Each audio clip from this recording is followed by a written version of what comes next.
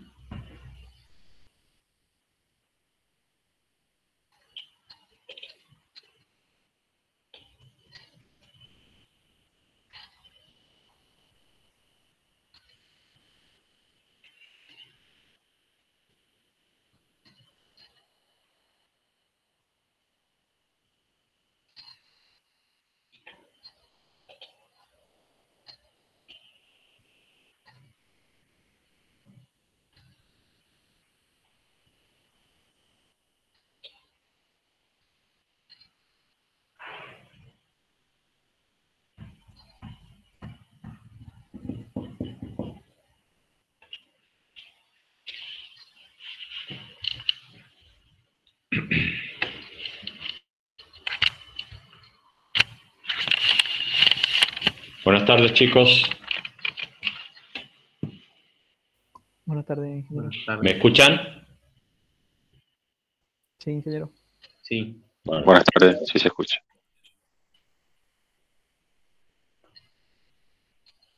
Bien.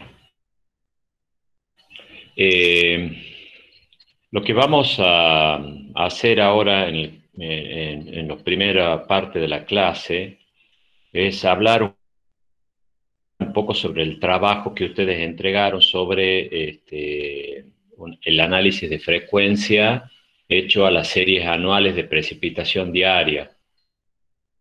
Eh, que yo este, les, les estaba debiendo una devolución así general, si bien he hecho devolución con algunos de ustedes en particular, eh, quería hacerles una devolución general que a mí me gusta hacer siempre eh, en la clase porque entiendo que, que, eh, los errores que, o las aclaraciones que necesiten eh, algunos les sirve en general a todos. Los, los, los- entonces este, me gusta hacerla así. Eh, en primer, y vamos en orden de lo que he ido observando. Por ejemplo, eh, eh, de- del grupo 1, ¿quiénes están?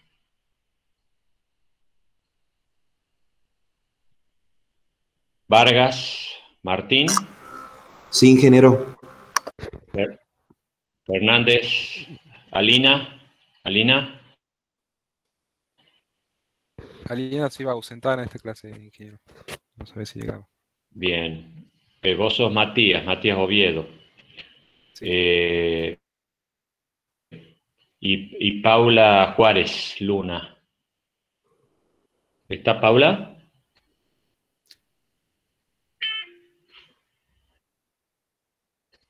Pablo es, al parecer, no, no está. Bueno. Bueno. Yo les voy transmitiendo un poquito, entonces comencemos. Este, eh, en el grupo 1, a ver, eh, eh, yo tengo las anotaciones así un poquito en, función de lo que he ido viendo los informes. No necesariamente estoy planteando de lo más importante a lo menos importante, simplemente es un orden, en el orden que me han ido apareciendo yo las anoté. Eh, tenían un error en los gráficos. Esto es un método de análisis visual, ¿no es cierto? Entonces yo tengo que poder eh, en el gráfico eh, representar con el mismo eje de ordenadas y el mismo eje de abscisas eh, los dos elementos que estamos representando, que es los valores medidos a los cuales se ha asociado un tiempo de retorno calculado con, la- con las distribuciones experimentales o fórmulas de posición de graficación. Y el, y el representado por la distribución que hemos ajustado, ¿no es cierto? Entonces, yo no sé bien por qué, no, no entiendo bien por qué, este, pero ustedes han, generado en el Excel un eje secundario tanto para abscisas como para ordenadas. Y, y la verdad que en ese, en ese caso, fíjense ustedes, eh, o sea, ustedes estaban representando uno de los elementos en, en un eje y el otro elemento en el otro eje auxiliar. Entonces era in- imposible que, uno esté este, en concordancia con el otro y que pudiésemos hacer el contraste para justamente ver cuál es el ajuste. No, no entiendo bien por qué lo han hecho, pero bueno, eso es incorrecto.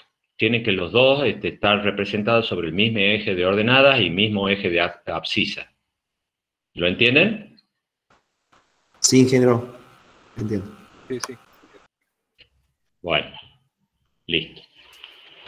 Eso lo ha llevado incluso a un error, creo yo, de, de la, de la elección de la, de la mejor distribución, ¿no? Así que lo revisan a eso. Eh, la distribución que ustedes trabajan no es la distribución normal. La que yo, yo les he pedido es la distribución log normal. ¿Mm? Y ustedes han trabajado una distribución normal siendo que lo que se solicitaba era la NOG normal. ¿Me están entendiendo eso, no es cierto? Bien. Sí, se entiende la diferencia. Bueno, bueno, listo. Eh, en el informe, es más, yo creo que hay algo raro ahí, este, porque en el informe dice como si fuese log normal, y, después yo entré al Excel, a, los Excel yo los revisé uno por uno para ver la metodología que habían utilizado, y en el Excel, en el Excel han utilizado la distribución normal. Eh, eh, bueno, eso con respecto al grupo 1. Vamos al grupo 2. Eh, en primer, el, el- el- el informe está bastante bien, en general, metodológicamente es correcto. Este, lo único que este, no aclara los valores de B. Con la, con la fórmula que permite determinar los valores de las posiciones de graficación, o sea, asignarle a los valores medidos el tiempo de retorno, nosotros utilizábamos esta fórmula que tenía n, que es la longitud del registro, m, que me da el número de orden, y el valor b minúscula, ¿se acuerdan que este, es una constante que tiene que adoptar un valor de acuerdo a la distribución con la cual estamos comparando? Y ustedes ahí en el informe no, no, no aclaran qué valor de b usan. Y en función de eso me parece que hay algunas diferencias. Entonces, fíjense, el 0.44 para Gumbel, en el caso de, en el caso de log, de log, eh, en, el, en el caso de log normal es 3 octavos, y en el caso de, de log Pearson tipo 3, de acuerdo si la asimetría es positiva o negativa, utilizan este, 0,45 o 0,30, o sea, un valor por arriba o por abajo de 3 octavos. Eso varios me lo han ido consultando y lo hemos ido evacuando esa duda de qué valores adoptar. Vos, Juan, sos del, grupo, de ese grupo. Sí. Soy del grupo 2. Bueno, me, me, ¿me entiendes? Sí, sí. El, valor un poco en eso. De la, distribución, claro. Sí lo habíamos puesto, solo que nos, eh, nos olvidamos de ponerlo, digamos, pero sí, sí lo hicimos así, con, con esos valores. Bueno, bueno. Después ya vamos al final vamos a hacer un redondeo de todo esto cuando recorramos un poquito todo y, yo les voy a hacer algún aconsejamiento en cuanto a los informes, ¿ah? eh, cómo presentarlos y, cómo elaborarlos, porque este informe lo, eh, yo no les voy a pedir que lo hagan de, nuevo necesariamente enteros, este, pero, pero sí sirve para los próximos. bueno, pasemos al grupo 3. Eh, en el grupo 3, la, verdad, la metodología está, está, muy buena, está muy bien, tiene bastante precisión y, me gustó muchísimo la memoria de, la memoria de cálculo. Está, está muy bien, está muy bien este, desarrollada y muy bien expuesta, con mucha corrección.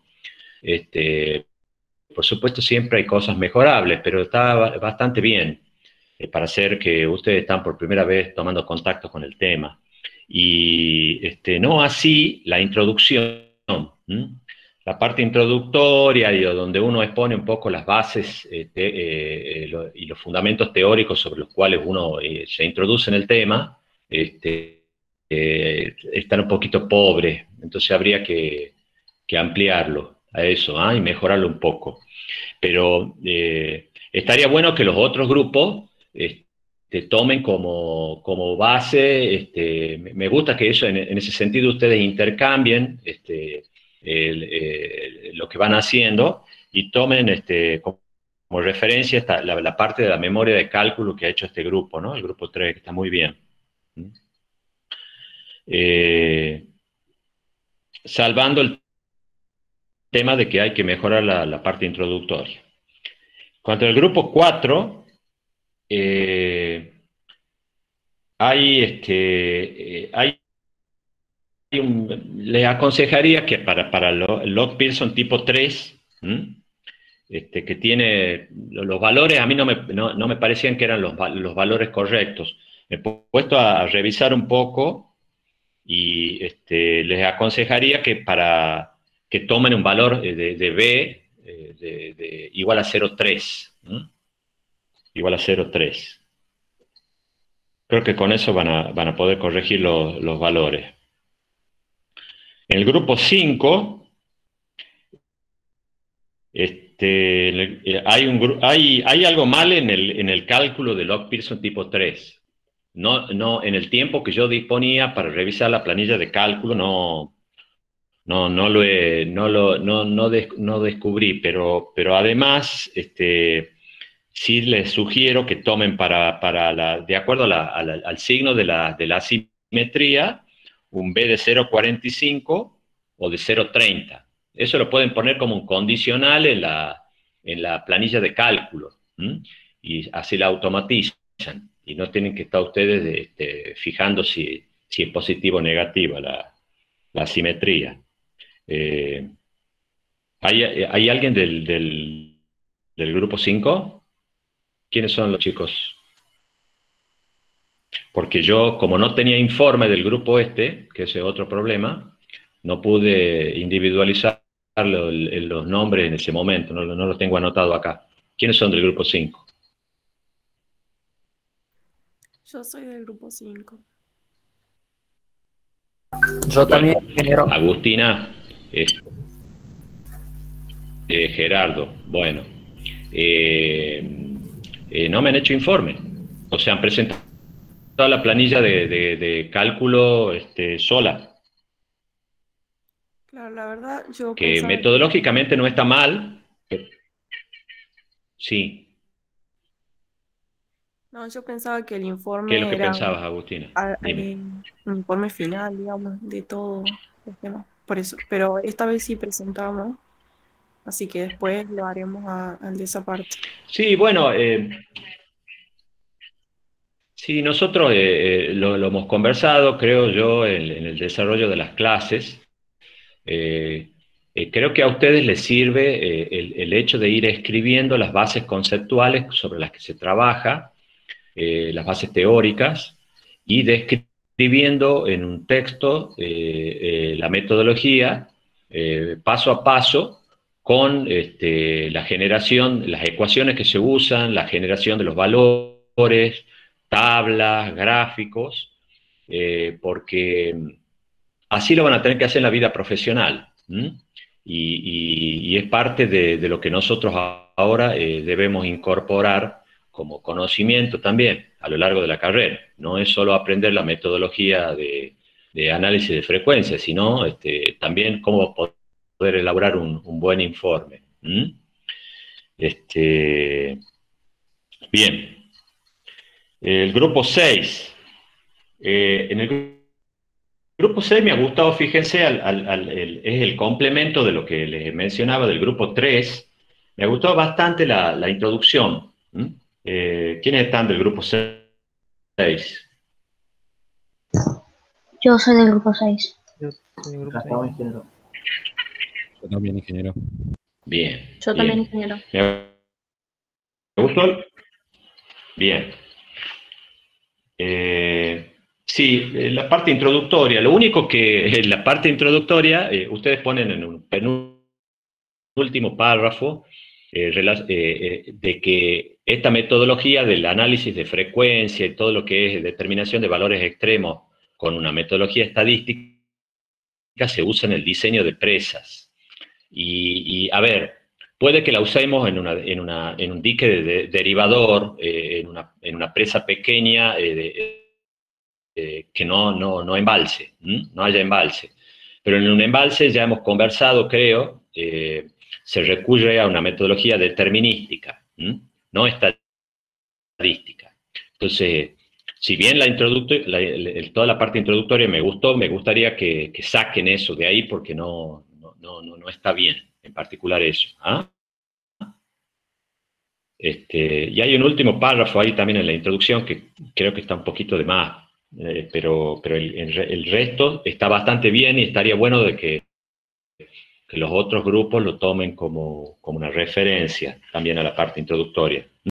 Se puede complementar con la, con la descripción de la memoria de cálculo este, que hizo el grupo 3. Eh, y otra, este, eh, eh, en el informe del grupo 6, eh, hay algún error en el cálculo de, de KT, o sea, del, del factor de frecuencia asociado a un tiempo de retorno para log Pearson tipo 3. Hay algún error ahí que están cometiendo, eh, o sea, está metodológicamente está bien, pero algo han hecho en la planilla Excel cuando han introducido la fórmula.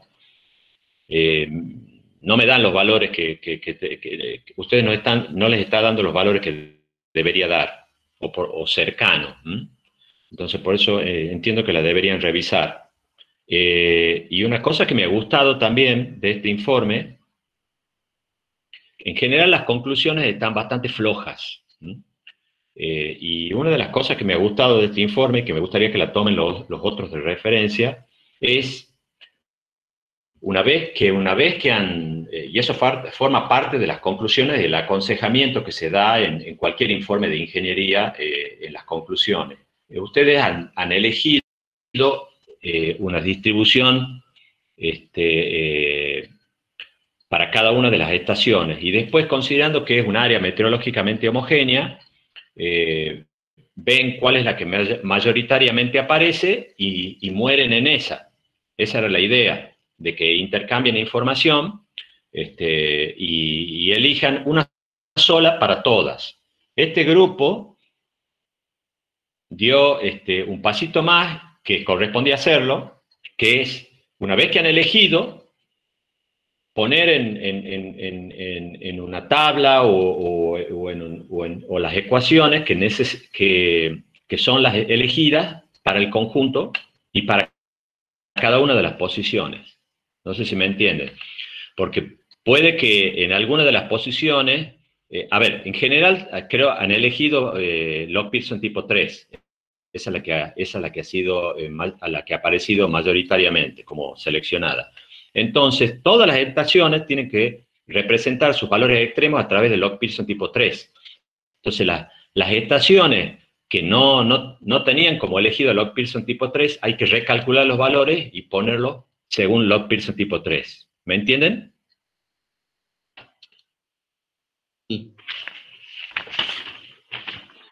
Bueno, esto es importante, por ejemplo, para, el- para la elaboración del trabajo que ustedes tienen que hacer cuando hacen la transposición de la IDT. Tienen que trabajar con esos valores, con el que han elegido, de la distribución que se ha, se ha elegido para el conjunto. Bueno, Bien, ingeniero, gracias. eh, en el- bien, bien. El grupo 7, también me pareció muy bueno el informe, en particular en la parte introductoria y en la base teórica. Está, está bueno que, le, pasen a los otros grupos para que, para que eh, lo vean y lo tomen de referencia. Eh, eh, a mí no, eh, en una instancia como esta, no me molesta que, ustedes se colaboren en ese sentido. Es mejor una buena copia que un, mal producto inédito. Entonces, este, quiero que se complementen y, saquen este, una- un, buen informe. Y en ese sentido, chicos, les recomiendo, se nota que muchos de los grupos que han elaborado informes no se han tomado el trabajo de leer. Este, tienen un muy buen libro, el, el, el, el 20 Show es muy completo en el tema de, estadísticas y de análisis de frecuencia, tiene dos capítulos completos, tienen una, una- un apunte de, generado en la, en la Universidad de Cuyo, eh, de Mendoza, y este, que también es bastante completo, entonces lean chicos. Y, hay otra, otra recomendación, cuando armen un informe de esto, no me recurran a, a- Wikipedia, eh, ni, a, ni a googlear eh, cualquier informe, ni a bajar cualquier informe de, de- Google, de, este, de Google Chrome o de Wikipedia, porque a veces este, tiene terminología equivocada y, y los lleva a confusiones. Eh, prefiero que ustedes este, se limiten a la, a a la documentación, a la bibliografía que les provee la cátedra o que se consigue que tiene origen académico. no la de, no, no la de otros medios que, son un, tanto informales. Les digo eso porque he visto en los informes cosas escritas este, por ahí que eran incorrectas y que, que, no, que, que, eh, sé que tienen origen de ese tipo. Bueno, eh, el informe en esa parte, en cuanto al grupo 7, está, está muy bueno. Ahora, eh, lo, que, lo que está mal, digamos, es que no expone las tablas de cálculo y los valores de parámetros. O sea, han hecho una muy buena descripción, pero después me han mezquinado en la exposición de, de las tablas este, con, los, con los valores. Este, eh, y otra cosa, hay algo mal en el, en el cálculo de, eh, en el cálculo, en los cálculos, ¿no? Están, están mal. Después yo, a ver, no estaba en el, informe, entonces entré a ver el Excel. Y está mal. Este, me parece que, si bien metodológicamente puede estar correcto, este, por, por la descripción que han hecho, pero cuando han, cuando han, cargado las fórmulas y, han, y han trabajado en el Excel, eh, hay algo que está mal. Este, y, eh, no, no, no, no son, eh, cosas, eh, errores este, groseros, andan en, el orden, pero, pero como yo tengo la, posibilidad de, ver, este, yo cotejo lo que le estoy entregando con las planillas de Excel con las que yo trabajo, puedo cotejar y, entiendo que hay algo mal cargado por, por la inexactitud de los, de los valores generados, ¿no? Y fij- este, este, otro, este es otro informe donde no me ponen los valores de B. también. No sé qué valores de B han, han ido utilizando para las posiciones de graficación. Eh, en el grupo 8 les puedo comentar, a ver, disculpen, ¿alguien del grupo 7 me quiere hacer algún comentario, me quiere preguntar algo? Eh, ingeniero, ¿usted dice que no están los valores de B que utilizamos para calcular el tiempo de retorno? ¿O qué valores?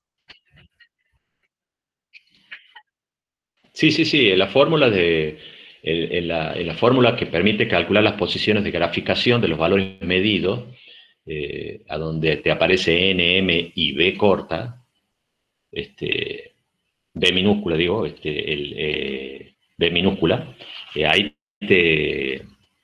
ahí están faltando. Yo no, lo, no los he podido descubrir en los valores de B que han utilizado. No están ni, en, el informe ni en, ni en la planilla, no los he podido ver. Eh, quizá me ha, me ha, faltado, me ha faltado paciencia, qué sé yo, para buscarlo, pero no, no, no, no estaban visibles. ¿Mm? Bien, gracias. Y, y, revisen la carga, la, revisen la carga, la carga de, la, de las fórmulas, porque hay algo ahí que me parece que anda mal. Este, en general, Gumbel no ofrece ningún problema porque es una fórmula simple, pero sí, la, la mayoría de los problemas están en el log Pearson tipo 3, porque ahí hay, hay, como tienen que, de acuerdo al signo del, de, la, de, la, asimetría, va un valor o otro de B, este, tienen que armarla bien a, la, a, la, a, las fórmulas que, entre las distintas celdas, que van combinando los valores de las distintas celdas en el Excel, y por ahí hay errores, me parece. Este, el grupo 8, este, eh, falta el, marco teórico, este, toda la parte introductoria con un marco teórico. van directamente a, un, informe bastante escueto en cuanto al, desarrollo del cálculo. Entonces falta todo lo anterior. Y hay algo mal también en el cálculo del log Pearson tipo 3. Ya les digo, no son errores muy gruesos, pero eh, no sé qué hacen, pero no dan los valores exactos como deberían dar. Así que revisen este, el cálculo de la distribución log Pearson tipo 3. Eh, el grupo 9.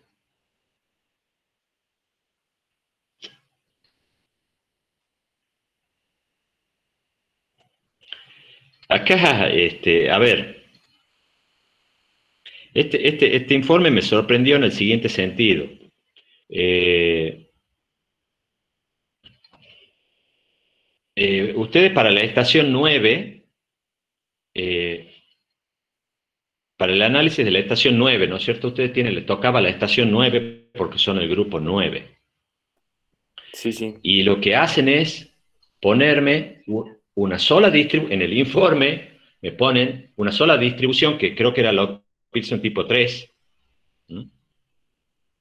para todas las estaciones, desde la estación 1 hasta la estación 12. Cuando el trabajo que les he pedido, para eso se los he distribuido, es que ustedes tomen solo una estación, pero me hagan el análisis comparativo de las tres distribuciones para que elijan una de las tres. Entonces, ¿Cómo puede ser este, que, el objetivo es ese? Entonces ustedes eh, eh, no le han prestado atención al objetivo principal del trabajo, que era ese. Y, han puesto, han tomado el log Pearson tipo 3 y me han analizado las dos estaciones con log Pearson tipo 3 y en el informe este, no, aparece nada de, de las otras distribuciones en la estación que a ustedes sí le importaba, que era la 9. No sé si me entienden. Sí, ingeniero. ¿Quién está del grupo 9? Bueno, entonces veamos eso. Eh, después yo vi que en el, entrando al Excel vi que, estaban todas hechas, porque estaban hechas los análisis para, para, para log normal y para Gumbel, pero, pero el informe no lo refleja. El informe es, eh, o sea, el informe no, no, atiende al objetivo principal del trabajo. Y también en este hay algo mal en, en los cálculos de log Pearson tipo 3. Hay algo mal. Fíjense bien. Bien, ingeniero. Eh, Bueno, listo. Eh, grupo 10 no tiene informe. Lo mismo que hemos dicho de, del otro grupo anterior que tampoco no tenía informe. Ingeniero. Por lo menos eh, no lo han cargado. Sí, yo Sí. le había mandado un mail eh, el lunes, me equivoco, eh, diciéndole que nosotros eh, pensamos que era solo el informe, eh, digo el Excel solo, y hemos mandado el informe ahí, porque después nos vimos que yo no lo había mandado por mail.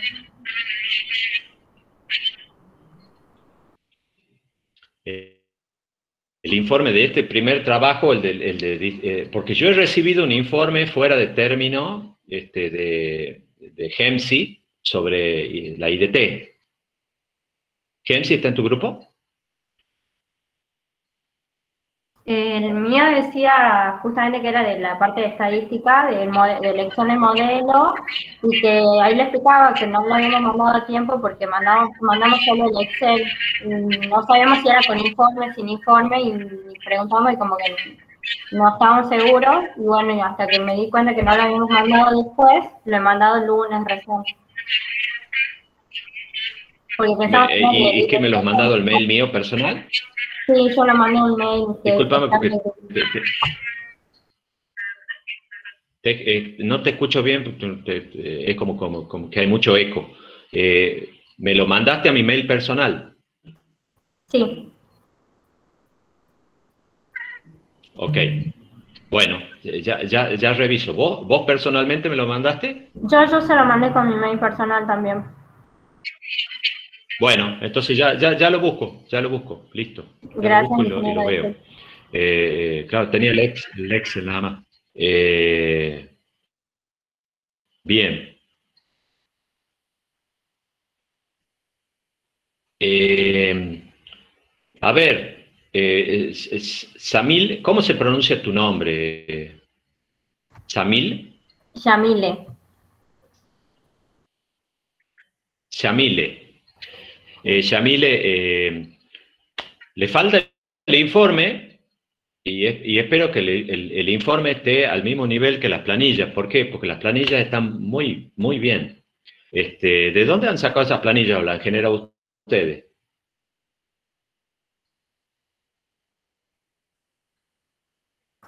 Eh, nuestro compañero. Nico se encargó de la parte del Excel, de haber generado las planillas. No sé si las encontró en algún lado, no le preguntaba. Bueno, No, fui viendo Eh, con la, con la Ahí parte sí. que compartió usted, Sí. ingeniero, y y creo que había encontrado un trabajo viejo y bueno, lo fui poniendo más bonito. está bien. Bueno, este, porque son llamativamente... Ingeniero, si eh, quiere, yo ahora se lo sí. de nuevo. Bueno, bueno, envíamelo de nuevo. Me va a resultar más fácil que estar buscándolo, sí, está bueno. Eh, eh, me- están muy bien las planillas, son este, muy similares a las planillas que yo armé para, para en, en algún momento. Entonces, quizá esa planilla que yo armé en algún momento habrá circulado y ha caído en tus manos. Es muy parecida. Eh, un poquito incompleta, eh, pero, pero está eh, con todos los valores correctos. Si, a ver, si vos se la querés pasar a los otros grupos, está buena porque está, está, ya está todo bien cargado ahí, todas las fórmulas y, y la verdad que viene bien. Están muy bien la- las planillas de- de- del grupo 10. Estoy hablando del Excel, ¿no? Estoy hablando del Excel. Este,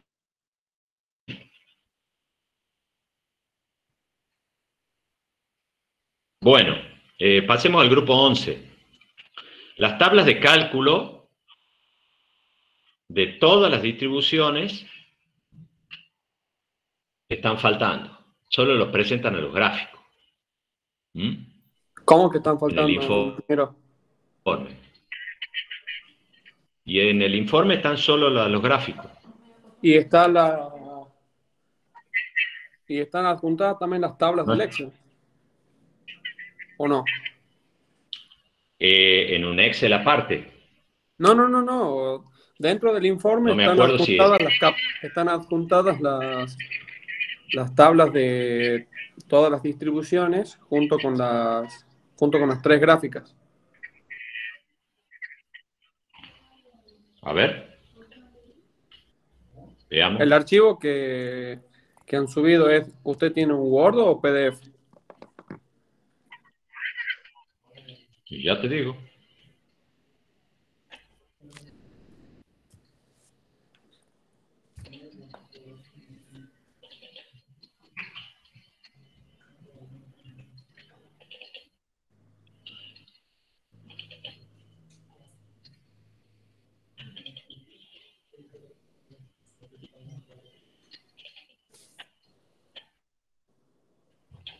Tengo Word. ¿Y el Excel no lo tiene? Sí, por supuesto, sí tengo, sí, te estoy diciendo que sí. Este, sí. Ya te, te comparto. Dale.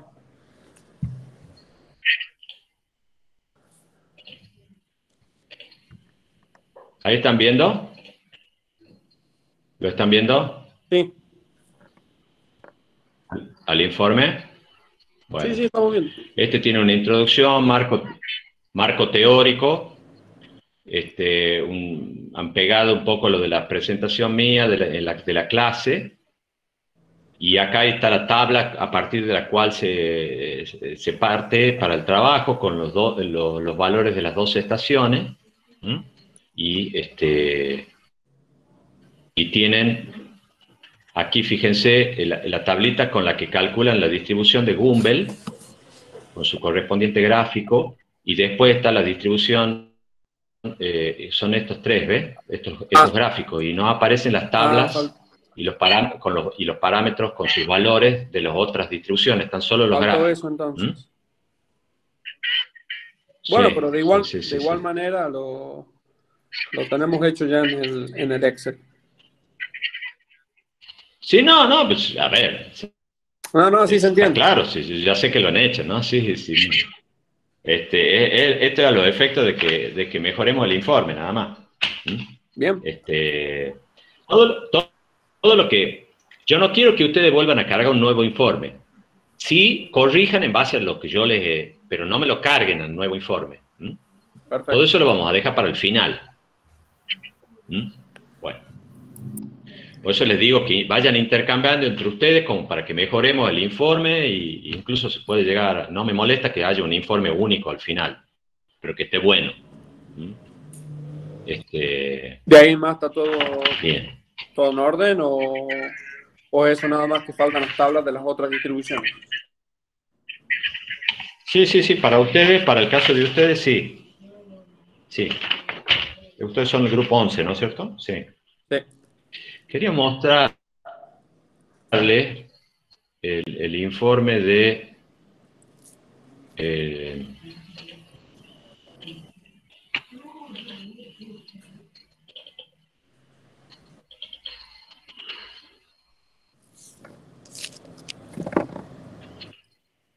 ¿Están viendo ahí el informe que yo he abierto? Sí, Bueno. Fíjense que este informe pone este- esto, al final, que les ha fa- faltado todos los otros. Dice, una vez determinado el modelo probabilístico, pro- eh, procedemos a obtener los valores de precipitación por la, por la distribución Log-Pearson tipo 3 en las distintas estaciones. Los resultados obtenidos asociados a los diferentes tiempos de retorno fueron. Esto me- me gustó porque conceptualmente ha faltado en todos los otros. Más allá de que, que- puede estar bien presentada la tabla, como ecuaciones, como uno quiera presentar, pero me, me gustó porque en este informe a, los que lo han elaborado les ha caído en cuenta que era necesario este, eh, este, este paso final, este, como para terminarlo de cerrar al informe, que es agarrar, eh, tomar la, distribución log-Pearson tipo 3, que era la mayoritariamente elegida, y genera los valores para todas las estaciones. ¿Me entienden?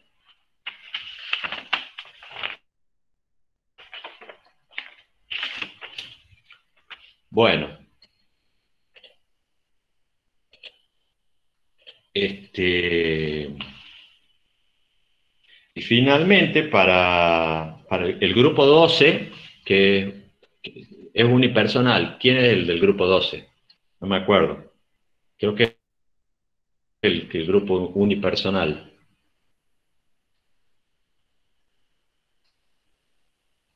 ¿Está presente?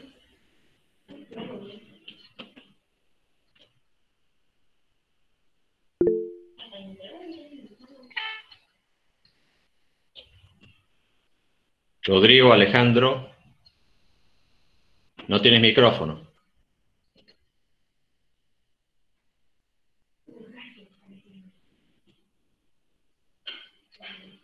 Rodrigo, debo entender este, que, no que no tienes micrófono. ¿Mm? Bueno, eh, Rodrigo, te falta el informe. No les he hecho informe. Eh, no me pones los valores de B, con los que eh, calculas este, este, con lo que calculas las posiciones de graficación. Este, y Y los, y, los valores, este, creo que vas a tener que revisar lo, que ha generado para Log Pearson tipo 3. Para Log Pearson tipo 3. Bueno, eh, y ahora como para cerrar un poquito eh, eh, lo, general, creo que es válido para todos. yo ya creo que se los he dicho, pero quiero sobre algo ya hecho y sobre esta experiencia que ya han hecho de, elaboración de estos informes, el de IDT todavía no, no, lo, he terminado de ver, este, quiero que entiendan de que eh, ustedes no tienen que elaborar un informe como alumnos para contarle al profesor este, qué es lo que están haciendo. Quiero que hagan el esfuerzo y el ejercicio de ponerse en la posición de un profesional que está elevando un, informe a los efectos que un par, que lo tiene que evaluar y que tiene que entender qué es lo que se ha hecho, este, lo, lea este, y, que tenga el, y encuentre el contenido suficiente como para obtener eso. Que ese otro profesional que lo tiene que evaluar este, lo entienda. Entonces, para eso tiene que tener, eh, eh, eh, ya, le, ya habíamos hablado, una introducción. La introducción hace a, los, a ubicarse del por qué se está generando el informe. Una, un, marco teórico a continuación en el cual este, se establecen las bases teóricas sobre las cuales se va a trabajar, una descripción metodológica y ahí pueden incorporar la, memoria de cálculo, a donde ustedes describen paso a paso la metodología que utilizan para este, el desarrollo del trabajo. Y al final, siempre tienen que ir las conclusiones y recomendaciones. Conclusiones y recomendaciones. Entonces, esa es una estructura que debe tener. Y en ese sentido, les, voy, a, les voy a hacer una recomendación.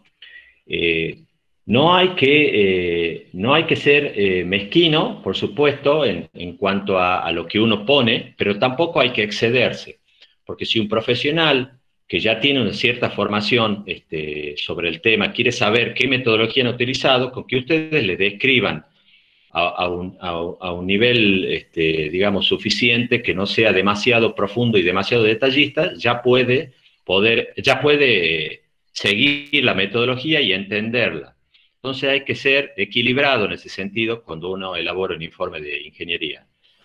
Y otra cosa, y esto ya tiene que ver con una cuestión de, de, de cómo se lo debe presentar, y es que es común, y he visto en los informes, que ustedes redactan en primera persona. No se redacta en primera persona, es poco elegante. No se dice hemos elegido la distribución, no, se, se pone se eligió la distribución de probabilidad. No sé si me entienden. Ustedes están elaborando un informe de profesional, entonces no le están contando a alguien lo que están haciendo, sino que están exponiendo su trabajo, lo que se hizo, la tarea. Bueno, con esto, este, con esto terminamos la devolución que le quería hacer y podemos empezar con la clase. ¿Alguna pregunta? ¿Alguna consulta? Antes que sigamos. Ah, no, esperen, disculpen. Alejandro Martínez, ¿estás? Sí, ingeniero. Bueno, eh, Alejandro, eh, estuve viendo lo que vos, eh, el Excel que vos me mandaste. tu duda, tu duda era circunscripta a el tema de la generación de la IDT para la posición que le tocó a tu grupo con el análisis de frecuencia para totales diarios. Sí. Bueno, este, y, de lo que yo he visto en el Excel, lo, revisé y es correcta. ¿Cuál es la diferencia? Vos date cuenta que eh, donde está la IDT esta, los totales diarios asociados al tiempo de retorno eh, que, vos estás trabajando andaban en el orden de 110 milímetros al día. Los totales de 24 horas, quiero decir, no, no diarios, los de 24 horas. Y en el lugar donde, a, donde vos estás haciendo la transposición de la IDT, que es la estación, no me acuerdo qué estación les tocó a ustedes. Estación 3. Eh, ah, esos valores andan. ¿Ah? Claro. Estación 3. Ah, respecto a esos valores. Esos valores andan en el orden de andan en el orden de 180 y pico de milímetros. Entonces, los coeficientes que vos generas, te imaginas, pasan de estar aplicados a 110 a 180 y pico. Entonces, eh, cuando trabajas con las intensidades eh, asociadas a los tiempos más cortos, como puede ser 5 minutos, este, te van a dar este, intensidades casi el doble. Claro. Y, es razonable. metodológicamente, lo que han hecho está, eh, está bien. Así que no hay problema con eso. Bien, ingeniero, muchas gracias. Es correcto. Pero está bueno de que me haya... La, duda, de, la duda que plantea Alejandro es una duda de, que, me, da un, eh, eh, me, da pie para, para, recomendarles algo. Eh, en hidrología, cuando uno está este, trabajando generando este, caudales. Eh, en, muchos casos uno no tiene, no tiene referencias para saber si el resultado de las transformaciones que está haciendo cuando uno genera una lluvia, de, una lluvia de diseño, una tormenta, y después la transforma a través de un modelo en caudal, uno a veces no tiene una referencia para saber si ese, ese valor eh, eh, es un valor este, medianamente razonable para lo que uno tendría que obtener o es un valor marcadamente incorrecto. No hay referencia. Entonces, este, eh, uno siempre tiene que tratar de cotejar buscando alguna metodología alternativa que le permita a uno cotejar si los valores que uno va obteniendo este, son razonables o no. Entonces, lo que ha hecho Alejandro es, algo que hay que hacer eh, siempre. Es, muy recomendable en ingeniería en general, pero en hidrología en particular. Este, dudar de lo, que uno, de lo que uno hace y plantearse si los resultados que uno está obteniendo son razonables o no. Porque, eh, chicos, en el ejercicio de la profesión usted tiene que asumir que el error nos persigue. El error nos persigue y siempre hay posibilidad de cometerlo. Entonces, cuanto más nos controlamos, este, viendo eh, eh, este tipo de cosas, este, se obtiene mejores resultados. Entonces, está buenísima la, duda que me, ha, transmitido Alejandro, porque él veía que los resultados eran marcadamente más altos en la nueva estación que en la estación de origen de la cual él trae la, desagregación de, de duraciones de la IDT. Bueno, ¿Alguna otra pregunta, alguna duda? Ingeniero, yo no tengo dudas, pero sí pedirle que eh, le envíe la, presentación de diseño de tormentas a EVE, así lo sube a la página. estaría faltando esa presentación. Ah, eh, a ver, eh, bueno, bueno, yo lo que pasa, eh, lo que pensé que es que ya ustedes ya la tenían, porque yo no le hice a esa presentación, creo, ningún cambio con respecto a la del año anterior, entonces pensaba que había quedado cargada en, la, en, la, en el aula. no, hay problema, ya, ya hago que la carguen de nuevo y de paso verifico que no, no haya tenido alguna modificación con respecto a la del año anterior. ¿Mm? Bueno, gracias. Quizás tenga alguna y de paso. Bien, gracias Ana. Gracias a vos.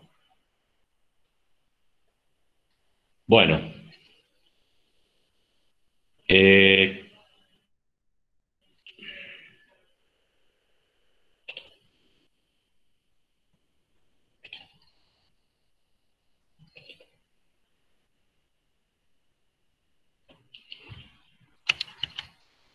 ¿Están viendo la presentación de PowerPoint? No. No, ingeniero. No. Siempre algo, ah, me olvido de algo. Este, a ver.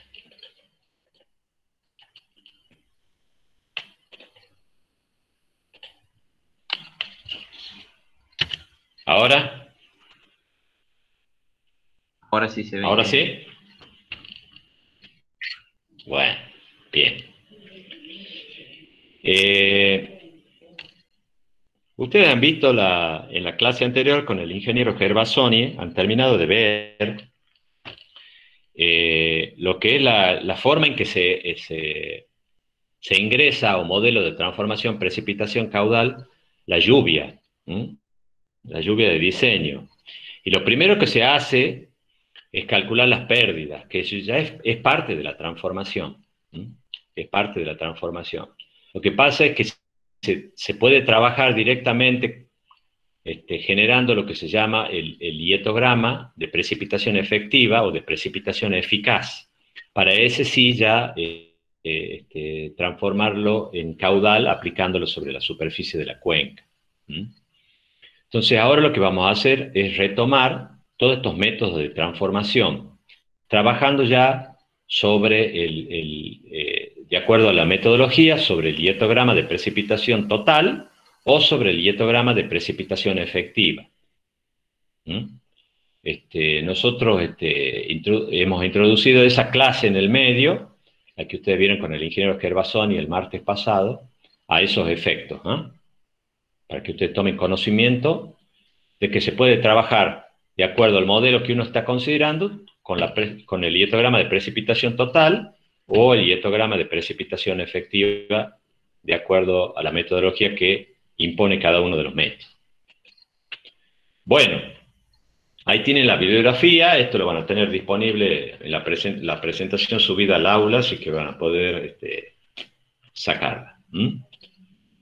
Bueno, eh, esto ya lo hemos visto en las clases anteriores, estamos trabajando sobre un modelo de cuenca, una cuenca un sistema a donde ocurre una precipitación y parte de esa precipitación se transforma en escorrentía superficial y, eh, parte de esa y una parte de esa precipitación se pierde a los efectos de la escorrentía superficial.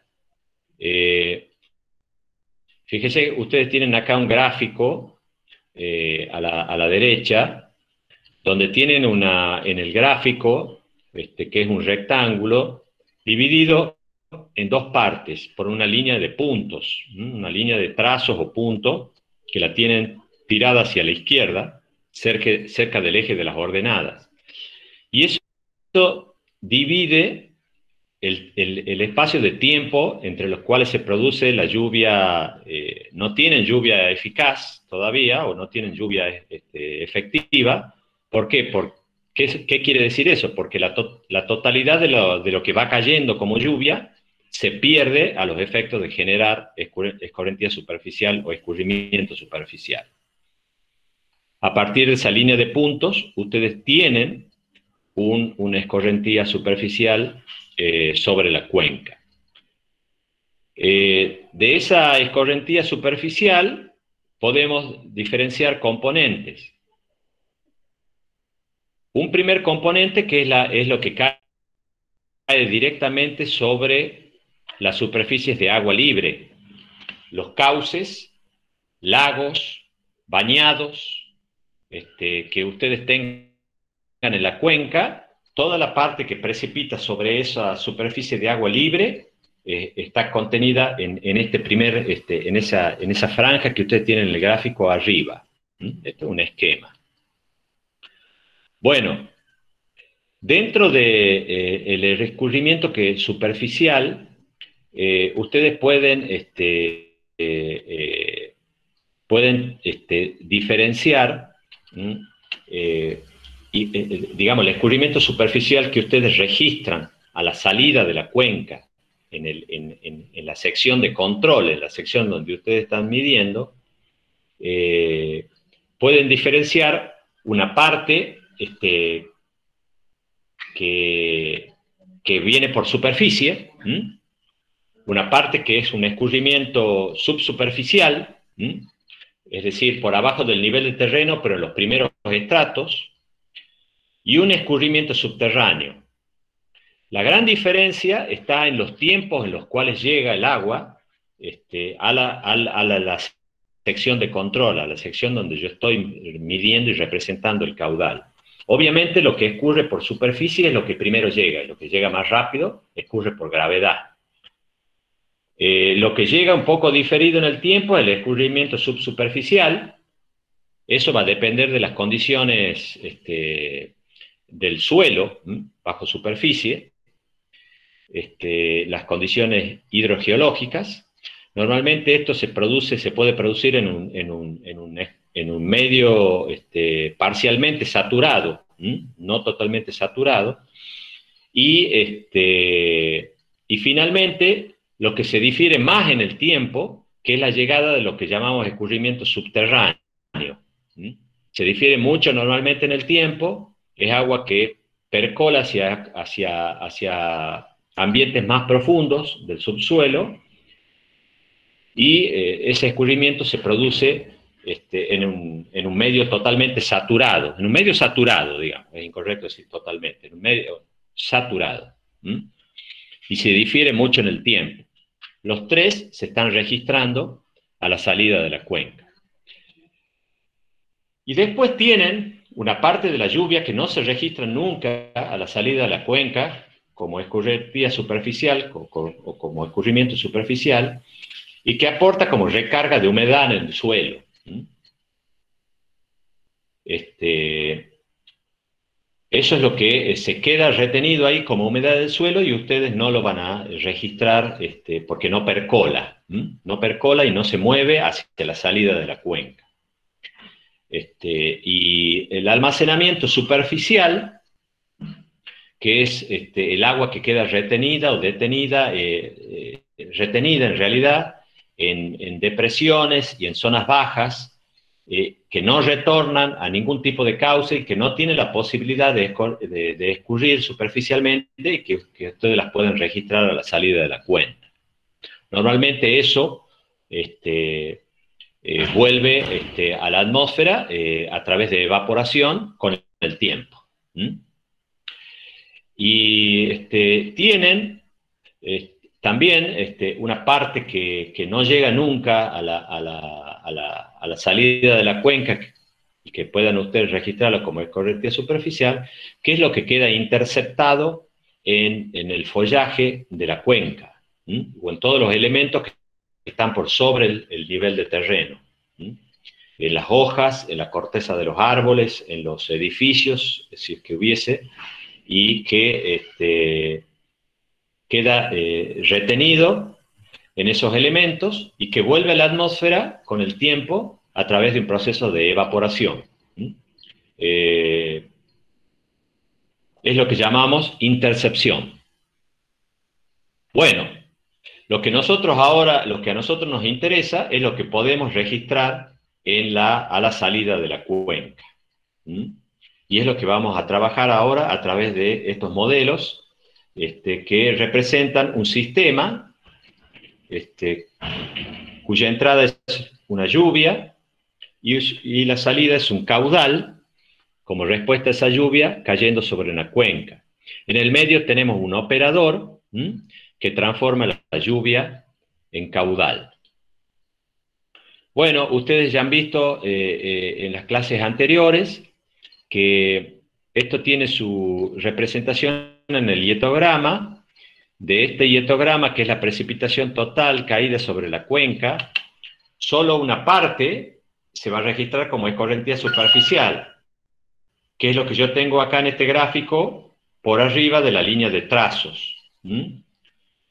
Todo lo que está por abajo, a los efectos del fenómeno que nosotros estamos analizando, es pérdida. Entonces, haciendo la diferencia entre la precipitación total y las pérdidas, que es lo que yo tengo rayado acá, como parte del dietograma que está rayado, tengo por arriba el dietograma de precipitación efectiva eh, o precipitación eficaz o exceso de precipitación o excedentes de precipitación. Todos esos términos son equivalentes y lo van a, eh, lo van a encontrar en la bibliografía este, como, como sinónimos. Bueno, ya hemos visto nosotros en las clases anteriores eh, eh, lo que nosotros, este, la forma en que nosotros representamos los caudales,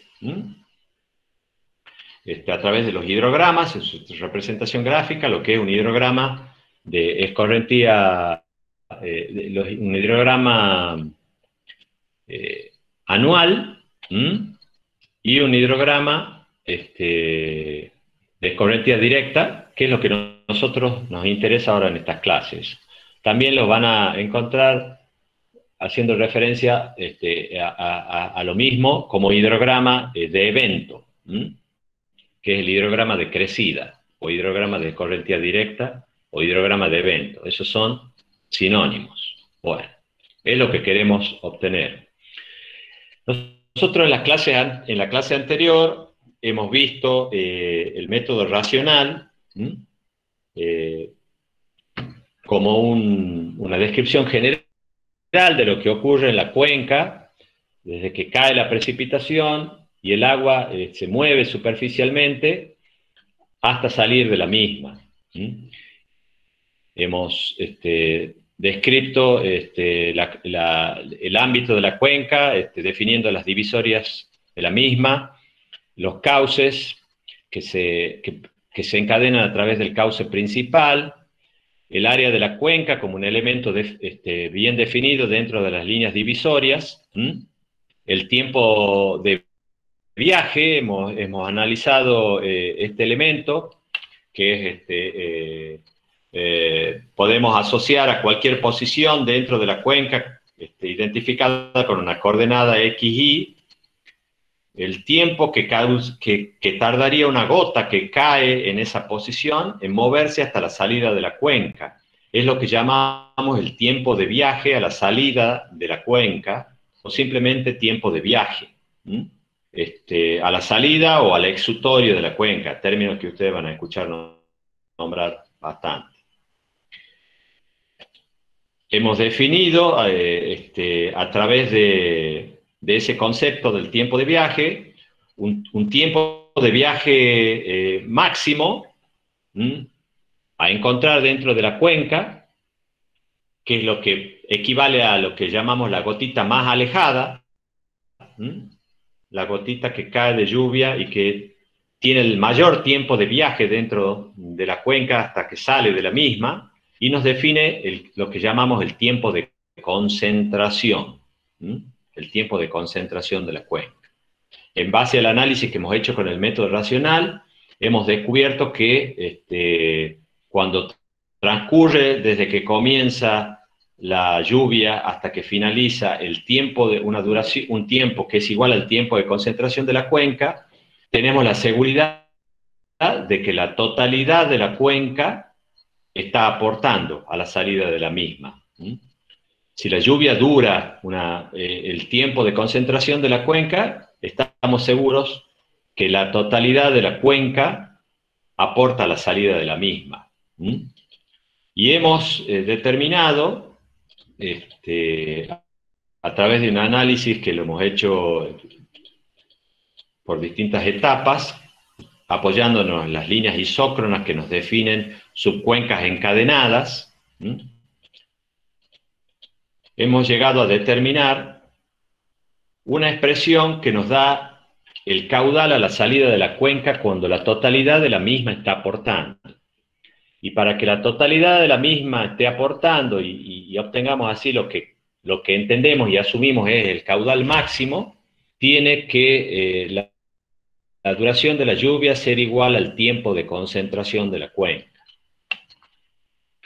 Esa lluvia este, es sacada de la IDT como intensidad de precipitación. Y este, es lo que tenemos acá. Es sacada de la IDT como intensidad de precipitación y esa intensidad se aplica al área de la cuenca como altura de lámina en la unidad de tiempo, el área de la cuenca en hectáreas, y se le aplica un coeficiente de minoración porque se entiende que parte de la lluvia se pierde. Y eso me da a mí el caudal máximo. Yo lo estoy, estoy haciendo un repaso de algo que ya hemos visto en la clase anterior. Entonces, como ven ustedes aquí, yo aquí estoy ingresando la lluvia tal como sale de la IDT, su valor, y, este, y no le estoy calculando eh, no le estoy calculando a través de algún método la, precipitación efectiva o la intensidad efectiva. No, lo que hago es este, ingresarlo al modelo de transformación, que es simplemente esta fórmula, la del método racional, y se infiere la precipitación efectiva a partir de aplicarle esa intensidad de lluvia, el coeficiente de minoración, ¿Qué le llamamos? Ya hemos visto en la clase anterior, coeficiente de escorrentía. Entonces, el producto de, ese, de la intensidad de lluvia que yo he sacado de la IDT y con el coeficiente de escorrentía me da a mí la intensidad efectiva, que tiene en cuenta las pérdidas. Entonces, el producto de la intensidad efectiva por el área de la cuenca me da a mí el caudal máximo. Eh, este método de transformación, así como, lo hemos visto en la clase anterior, ya hemos eh, descrito que, eh, que, es bastante sencillo. Al ser sencillo, este, es más difícil, es, más, es más rápido de, resolver y lleva en general a cometer menos errores lo menos en los órdenes de caudales que hay que, determinar. ¿Cuál es el, inconveniente que tiene? En que necesita una buena, este, una buena determinación del coeficiente de escorrentía.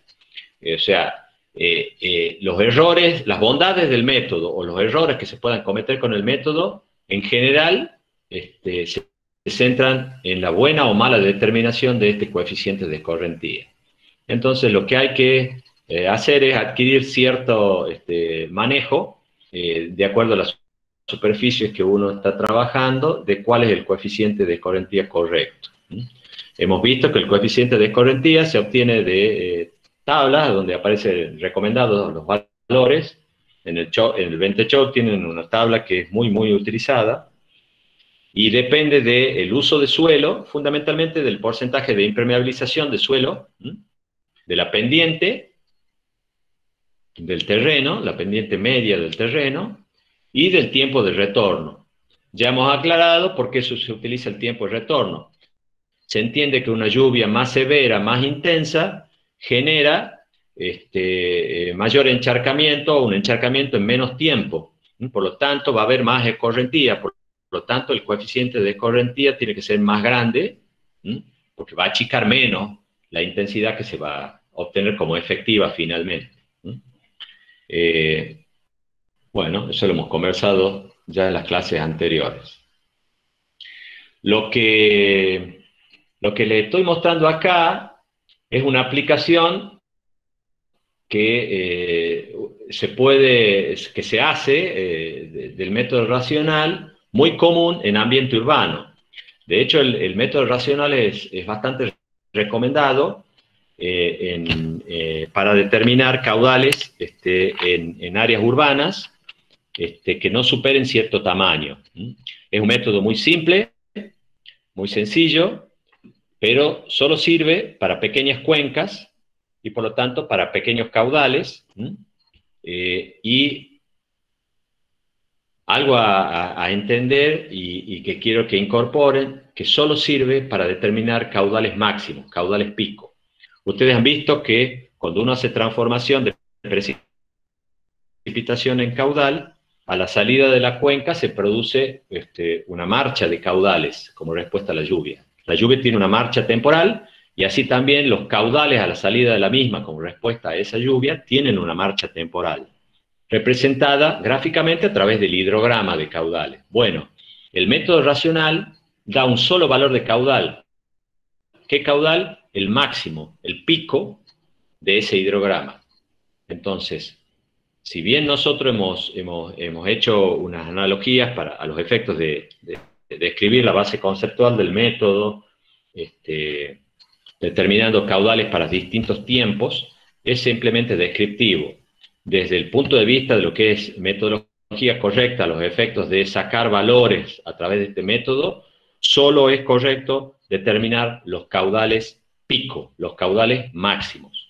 ¿Por qué no es bueno no se puede determinar a través del método racional caudales, este, toda la marcha de caudales, es decir, el hidrograma completo, porque el método racional es incapaz de valorar correctamente este, los procesos de almacenamiento que se producen en la cuenca, que no solo me producen achicamientos del caudal máximo, sino que también me producen diferimientos de caudales en el tiempo. En la cuenca se producen, en la transformación de la precipitación en caudal, se producen procesos de almacenamiento, que son intrínsecos, ya, ya hemos descrito eso en las clases anteriores, al escurrimiento. Ustedes saben que por más plano, por más, este, por más liso, sin rugosidad que sea una superficie de una cuenca, y aunque no tenga depresiones y, este, y zonas bajas donde puede haber detenciones de agua, Siempre para que se produzca un escurrimiento tiene que, eh, tiene que el agua ganar en tirante, tiene que haber profundidad de agua eh, en, el escurrimiento. Cuando se gana tirante, cuando se gana en profundidad para que pueda producirse el escurrimiento a gravedad, para que se puedan vencer las, las resistencias al escurrimiento, ya estamos produciendo un almacenamiento, porque el agua necesita ganar tirante, por lo tanto ya hay un volumen que se produce sobre la superficie de la cuenca y eso ya lleva intrínseco un, este, un volumen, un almacenamiento. Obviamente que es un almacenamiento bastante menor a medida que este, aumenta la pendiente de la cuenca. ¿Por qué? Porque necesito menos tirante. ¿Y por qué? Porque las, las, las, todos los otros elementos que producen aumento de, aumento de, ese almacenamiento tiene menos influencia. ¿A qué me refiero? Cuanto más rugosa es la cuenca, cuanto más resistencia al, escurrimiento hay, mayor es el, tirante, mayor es la profundidad, mayor es la energía que se necesita para que se produzca el escurrimiento y por lo tanto va a haber más almacenamiento. Cuando hay zonas bajas, oquedades, este, eh, en casos extremos, o pequeños este, zonas de, embalse este, temporales, se producen este, almacenamientos ya más marcados y por lo tanto hay diferimientos de caudal y achicamientos de pico. Entonces, el, caudal, el, caudal que yo puedo determinar, determinar a través de un método tan simple como el método racional no puede manejar esa, esa transformación tan compleja. Entonces, a través de aplicar un coeficiente de escorrentía a la intensidad de lluvia, solo puedo inferir cómo se achica el caudal máximo, el pico, pero no puedo establecer una marcha de caudales porque no, es imposible manejar el diferimiento de caudales, que conlleva este, los procesos de almacenamiento que se dan en la cuenca y que no puede ser valorados por el método racional. Bueno, eh, el método racional, este, lo, que, plantea para una pequeña cuenca urbana, como puede ser esta, usted lo que tiene representados ahí eh, son manzanas de, de, un área urbana, con las calles, lo que tienen ahí enmarcado son eh, como, como cuadrados, son las líneas, lo que podría ser las líneas municipales de cada una de las manzanas, que la delimitan, delimitan las manzanas, y lo que tienen en el medio son es la traza de, las calles, de las calzadas vehiculares. Estas calzadas vehiculares en un ambiente urbano son los canales primarios, interceptores de agua. Interceptan el agua que sale de adentro de las manzanas, de las propiedades frentistas, que llega a las cunetas de estas calzadas y, y conduce el agua. Entonces, el primer, la, primera captación y conducción este, de los excedentes pluviales generados en un área urbana, este, fuera del ámbito privado, se produce en las calles. Son los canales primarios que ustedes tienen este, en, una calle, en, una zona urbana. Eh, entonces, lo que eh, el método racional les permite a ustedes es, eh, en un ambiente así, con cuencas chicas, en un área urbana, es determinar los valores de caudal pico que se concentran en las posiciones que ustedes pueden ir este, fijando. Eh, lo que ustedes tienen aquí este, representado a su vez sobre esta, este plano de amanzanamiento con sus calzadas, es un conducto que colecta y conduce el agua. Eh, es lo que ustedes tienen en eh, línea de trazo azul. Eh, acá, en, este, en esta área, va a haber un sistema de bocas de tormenta que va a retirar el agua de la superficie de la calzada y la va a meter a este conducto. Y las va a meter a este, a este, a este conducto o a este sistema de conductos.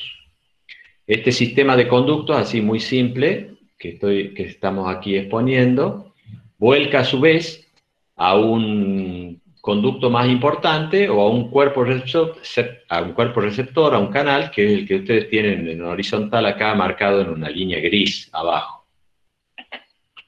Bueno, la idea es, eh, a través de un método simple como es el método racional, calcular los caudales de diseño de este sistemita de, los colectores, que, estamos, que tenemos aquí representado con la línea en trazo azul, y de sus bocas de tormenta.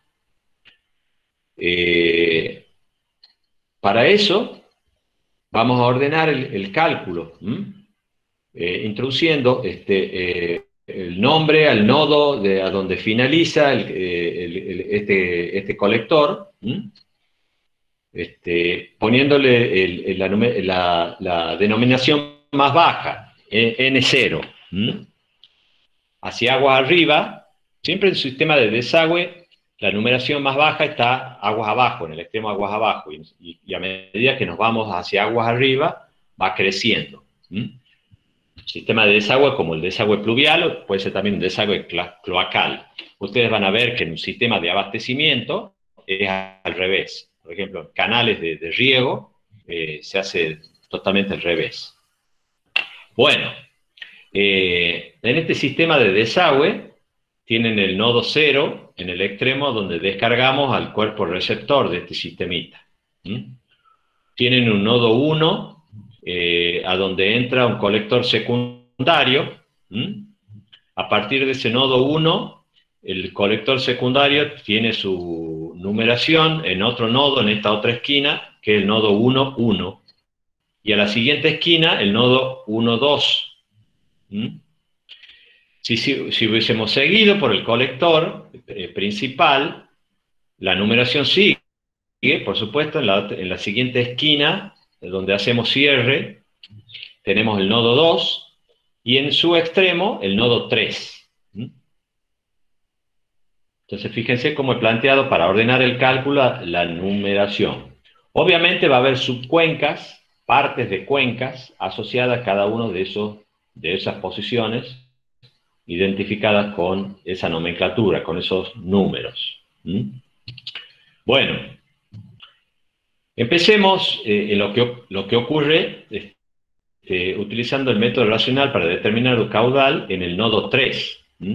¿Cuál es el caudal que estaría entrando al, al colector en el nodo 3 como aporte de esta subcuenca, que es la que aporta al nodo 3.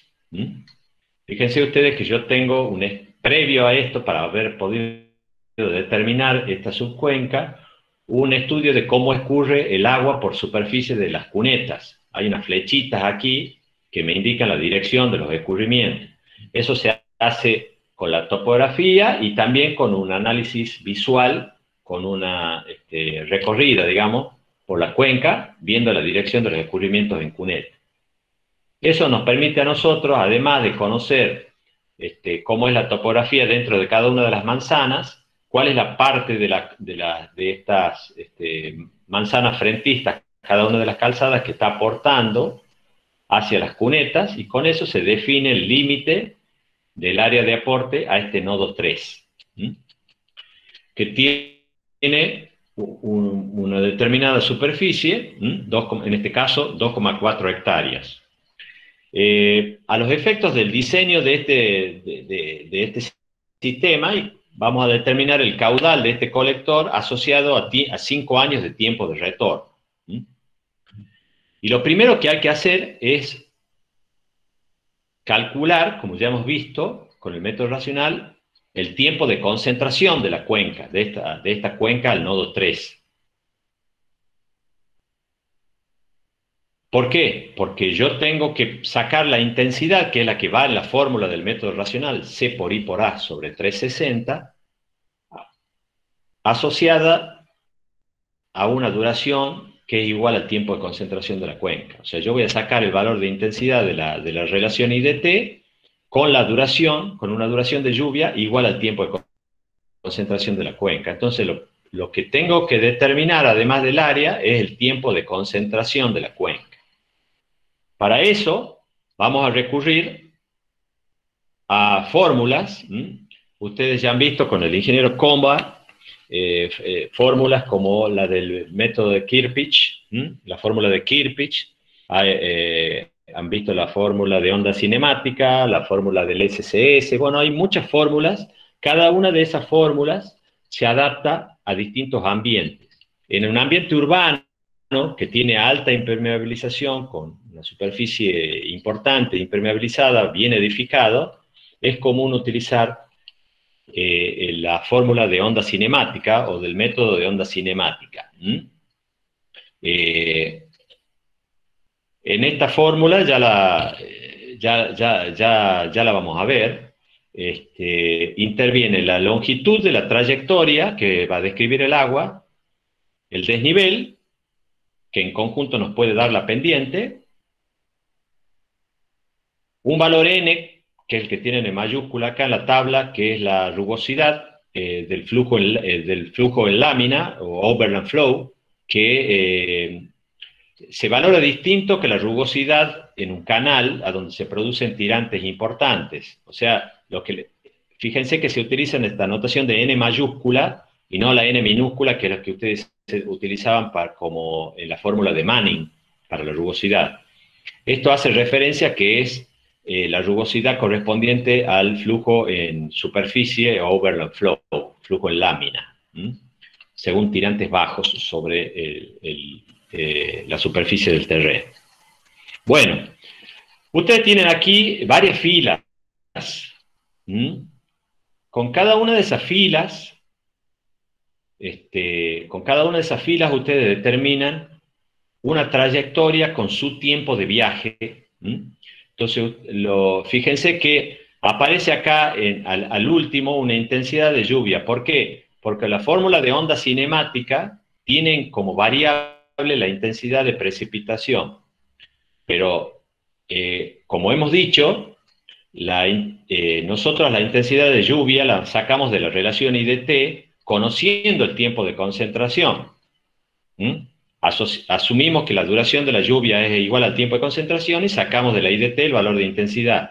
Entonces acá estamos en un problema porque necesitamos conocer el tiempo de concentración, para conocer el tiempo de concentración necesitamos conocer la intensidad de lluvia.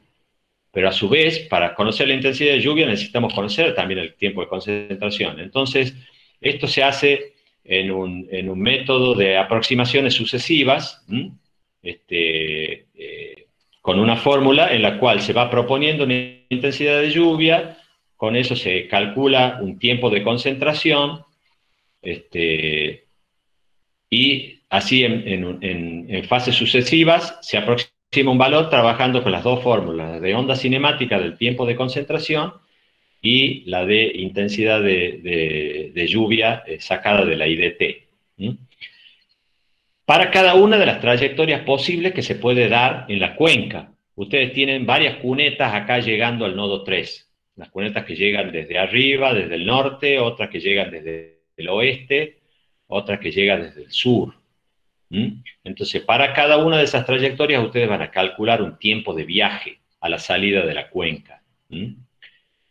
¿Cuál es el tiempo de concentración? El mayor de todos los valores. Fíjese que ustedes tienen acá 7,6, 8,71, 8,42, 7,52, 8,35, 7,25. ¿Con cuál se quedan? Con 8,71, que es el mayor de todos los valores.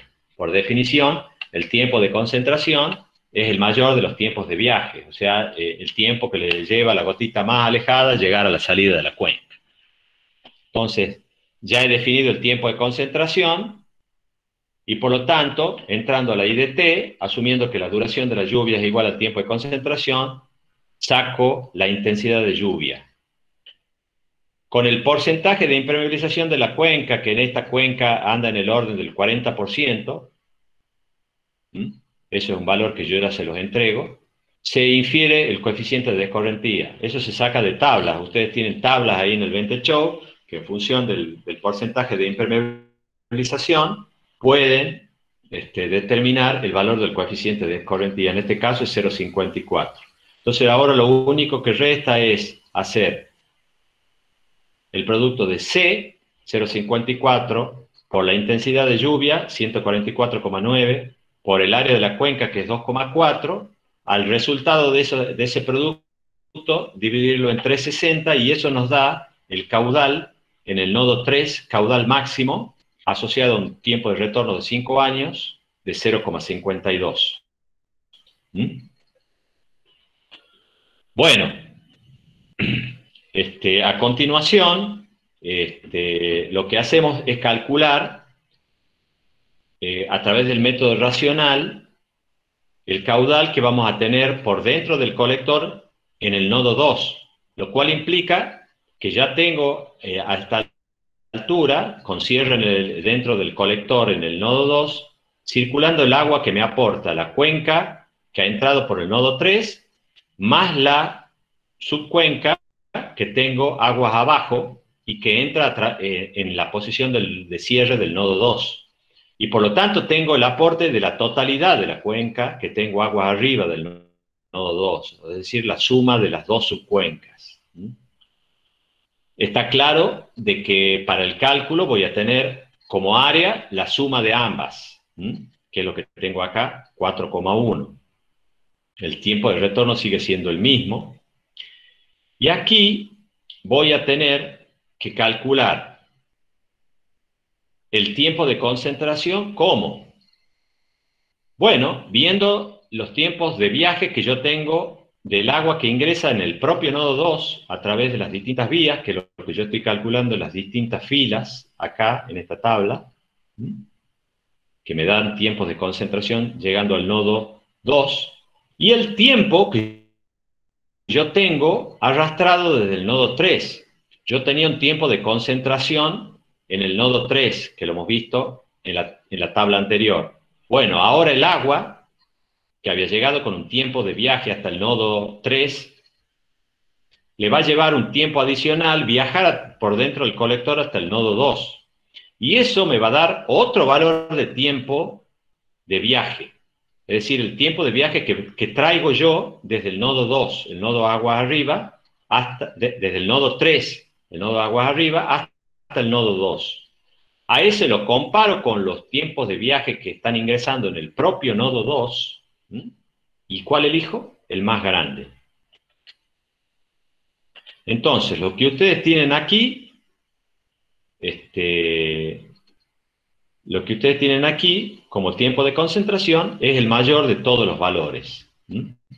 Fíjense que este, el tiempo de concentración para el nodo 2 va a ser el mayor de todos los valores. Bueno, lo mismo ocurre cuando estoy, vengo trabajando desde una subcuenca, este, desde una subcuenca del, del, secundario, la del nodo 1-2, se calculan los tiempos de concentración, se calcula este, el área, se calcula el coeficiente de escorrentía relacionado con el porcentaje de impermeabilización. Fíjense que el porcentaje de impermeabilización es más bajo, por lo tanto el coeficiente de escorrentía es más bajo, y el caudal que yo voy a tener como caudal pico en ese nodo 1,2 es el producto de C por I por A sobre 360 igual a 0,3. Bueno, lo mismo ocurre para el nodo N11. Vengo arrastrando el, eh, vengo arrastrando el, tiempo de, el tiempo de viaje desde el nodo agua arriba, lo comparo con el que entra en el propio nodo, elijo el mayor y tengo con eso el tiempo de concentración y por lo tanto la intensidad de lluvia y puedo sacar el caudal aplicado a todo el área, que es la suma de las dos, con su coeficiente de escorrentía. ¿Qué coeficiente de escorrentía? El ponderado entre ambos. Fíjense que yo tenía un coeficiente de escorrentía este, para el área de 1,7 hectáreas y otro coeficiente de escorrentía para el área de, 1, de 1 hectárea que se suma ahora, aguas abajo del nodo 1, Ingeniero. 2. ¿Cómo se pondera el coeficiente del... De, sí, sí. ¿Puede volver a explicar cuando hace la sí. comparación?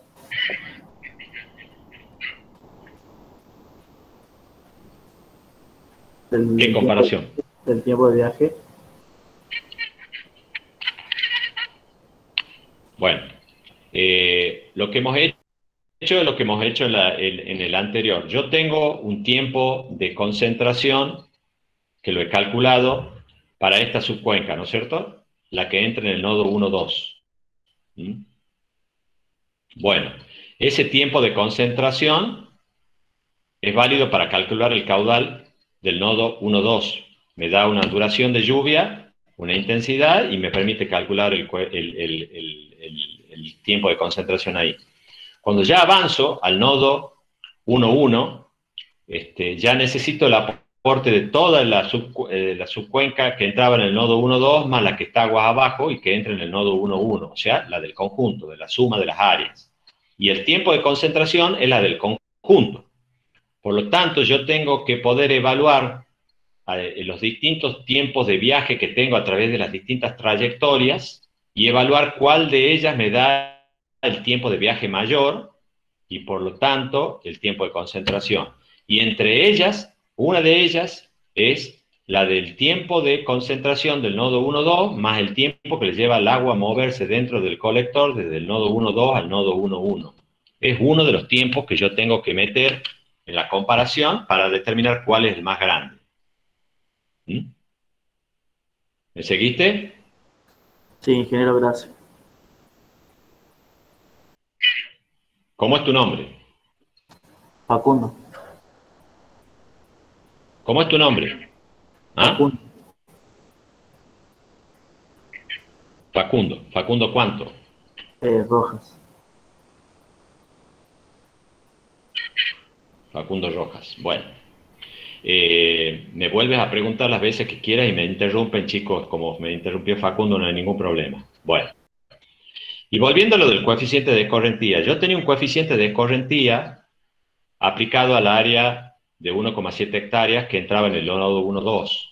Y tengo un coeficiente de escorrentía aplicable al área de 1 hectárea que entra en el nodo 1,1.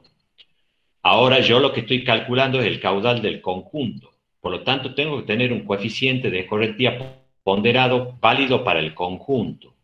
¿Y cómo se obtiene? ¿Cómo se lo pondera? Por pesos. Multiplico el coeficiente de escorrentía correspondiente al área de, 1,7 por 1,7 y le sumo el producto del coeficiente de escorrentía correspondiente al área de una hectárea multiplicado por una hectárea Y a la suma la divido en 2,7 hectáreas, es decir, la suma de las áreas. Lo que estoy haciendo es darle peso a los coeficientes de escorrentía de cada una de las áreas. Y, lo que estoy, y de esa forma obtengo el coeficiente de escorrentía ponderado. ¿Han entendido esto? ¿Podría volver a repetir? Bien, así me gusta. Eh, yo tengo un coeficiente de escorrentía correspondiente al área de 1,7, que es la que ha entrado en el nodo 1,2. Le llamemos C12. Y tengo otro coeficiente de escorrentía correspondiente a esta subcuenca que está aguas abajo, que es de una hectárea, que entra en el nodo 1,1. Le llamemos C11. Ahora, como yo estoy calculando el área, el, caudal, quiero calcular el caudal que circula por adentro del colector, aportado por el conjunto de las dos áreas, de las dos subcuencas, tengo que tener un coeficiente de escorrentía ponderado para el conjunto. Y eso se obtiene multiplicando el coeficiente de escorrentía C12 por 1,7, que es el área de esa subcuenca, más el coeficiente C11 multiplicado por 1, que es el área de esta otra subcuenca, y a la suma la divido por el área total, es decir, por 2,7 hectáreas.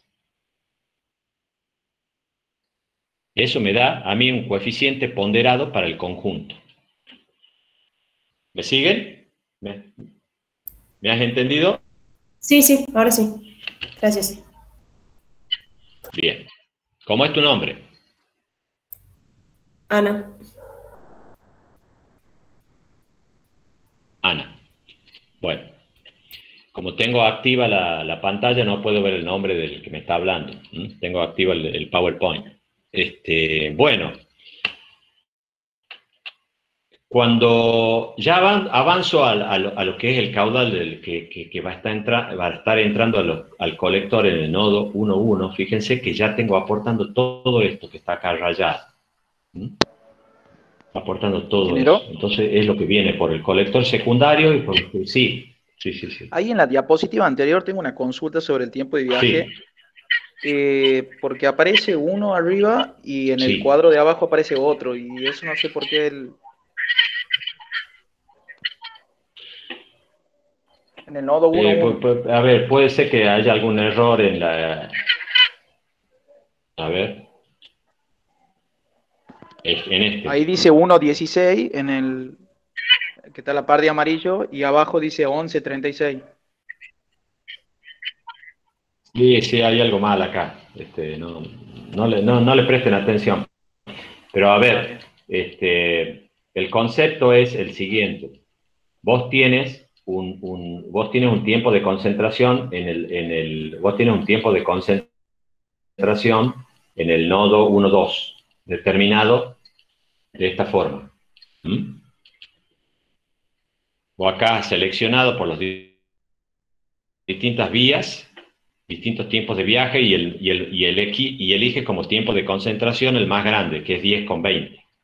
¿Me sigues hasta ahí? Sí, sí, sí.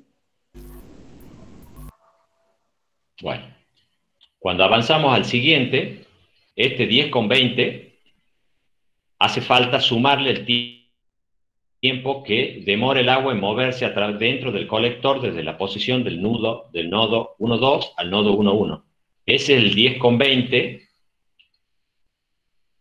se le suma este 1,16. ¿Mm? 1,16. Ah, claro, y ahí sale el 11,36 de abajo. Y ahí sale el 11,36. Está bien. Entonces estaba correcto. Porque está bien. Es lo que. Lo que pasa es que a mí no, en un primer pantallazo, en una primera vista, me, me parecía que no daba la suma, porque me acordaba mal del valor.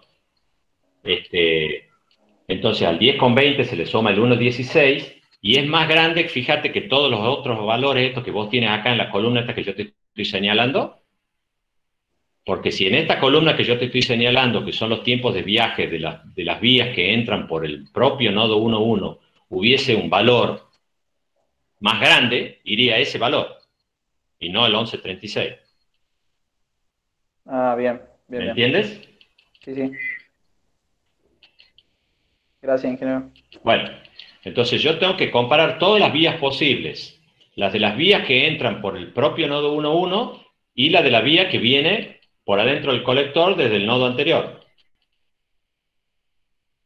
Alguna de esas me va a dar el valor de tiempo más grande. Y ese es el que, con el cual yo me quedo para definir el tiempo de concentración. Ustedes fíjense que yo, pongo acá tiempo de viaje, que es el más grande, y después pongo el tiempo de concentración, que es ese.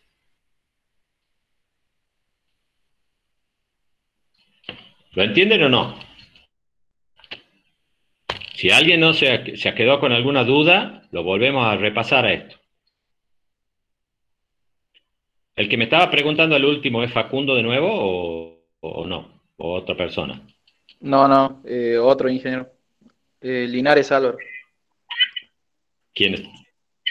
Bueno, Álvaro. Bueno, eh, ¿lo, lo, lo, lo, tienes claro ahora, Álvaro? Sí, sí, sí. Eh, ahora sí lo entendí con la explicación que dio al último. Bueno. Bueno. Listo. Entonces, cuando vamos ahora al, al a, cuando vamos al, a calcular el caudal en el nodo 1.1, este, lo que tenemos que hacer es lo mismo. Es lo mismo que hemos venido haciendo. Nada más que se hace un poquito más complejo porque obviamente eh, ya hay más vías. Entonces, ustedes cuando llegan al nodo 1, fíjense que tienen un tiempo de viaje que vienen arrastrando este, que vienen arrastrando desde los nodos que vienen por el colector principal y un tiempo de viaje que vienen arrastrando desde eh, por, el, por adentro del colector a través del colector secundario, más los que entran en el propio nodo 1 y en el nodo 1.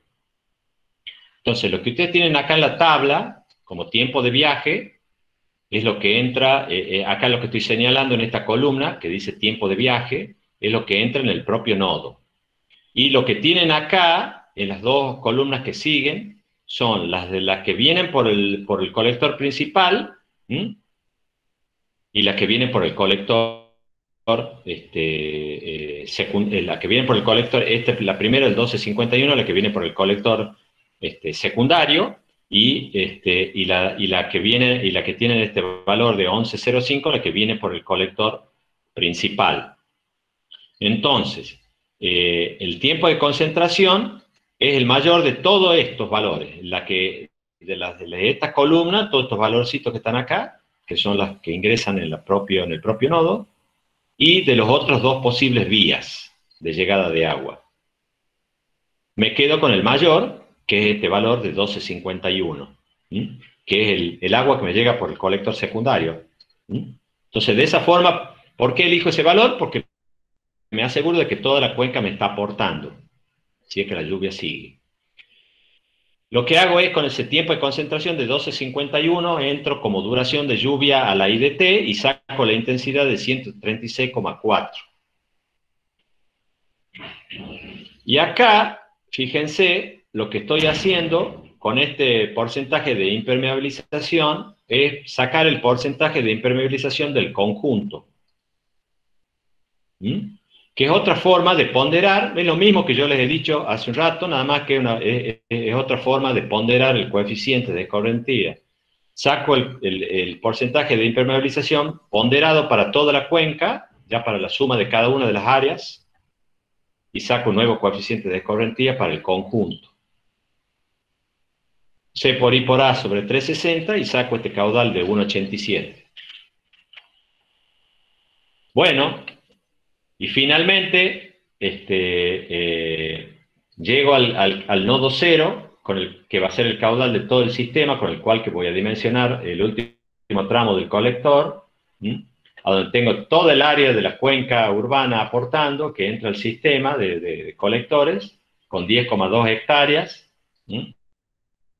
Y tengo el, los tiempos de viaje entrando por el nodo cero, los posibles, y los tiempos de viaje que vengo arrastrando por el colector desde el nodo anterior, que en este caso uno solo, el nodo 1, y elijo obviamente el más grande, que en este caso obvio iba a ser el que viene por, desde, desde aguas arriba a través de dentro del colector, 13,64 minutos. Pondero el, el, porcentaje de impermeabilización de la totalidad del área, saco el coeficiente de escorrentía y con eso tengo el caudal máximo dentro del colector.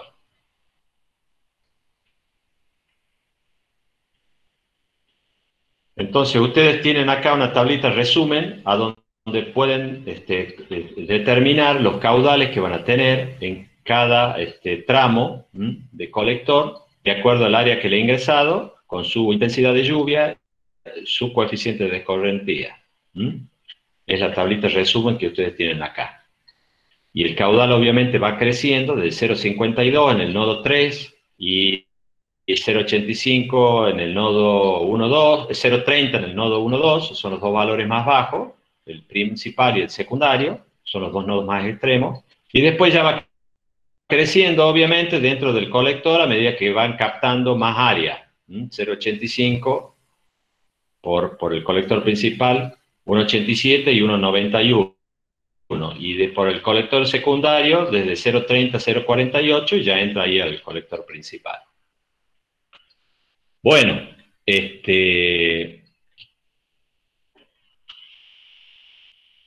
es muy importante tener en cuenta entonces que con el método racional solo van a poder caudar, determinar caudales pico, caudales máximos, que en, en, general es suficiente porque ustedes tienen que dimensionar una sección de un caño, una alcantarilla, una boca de tormenta, y el método racional tiene una limitación, al ser tan simple, de no poder valorar los procesos de almacenamiento en la cuenca, tiene la limitación de la superficie con la cual se puede trabajar, como superficie aportante, como cuenca. Y según la bibliografía, esta superficie, este, algunos autores indican que tiene como límite 100 hectáreas y otros autores indican como límite 200 hectáreas.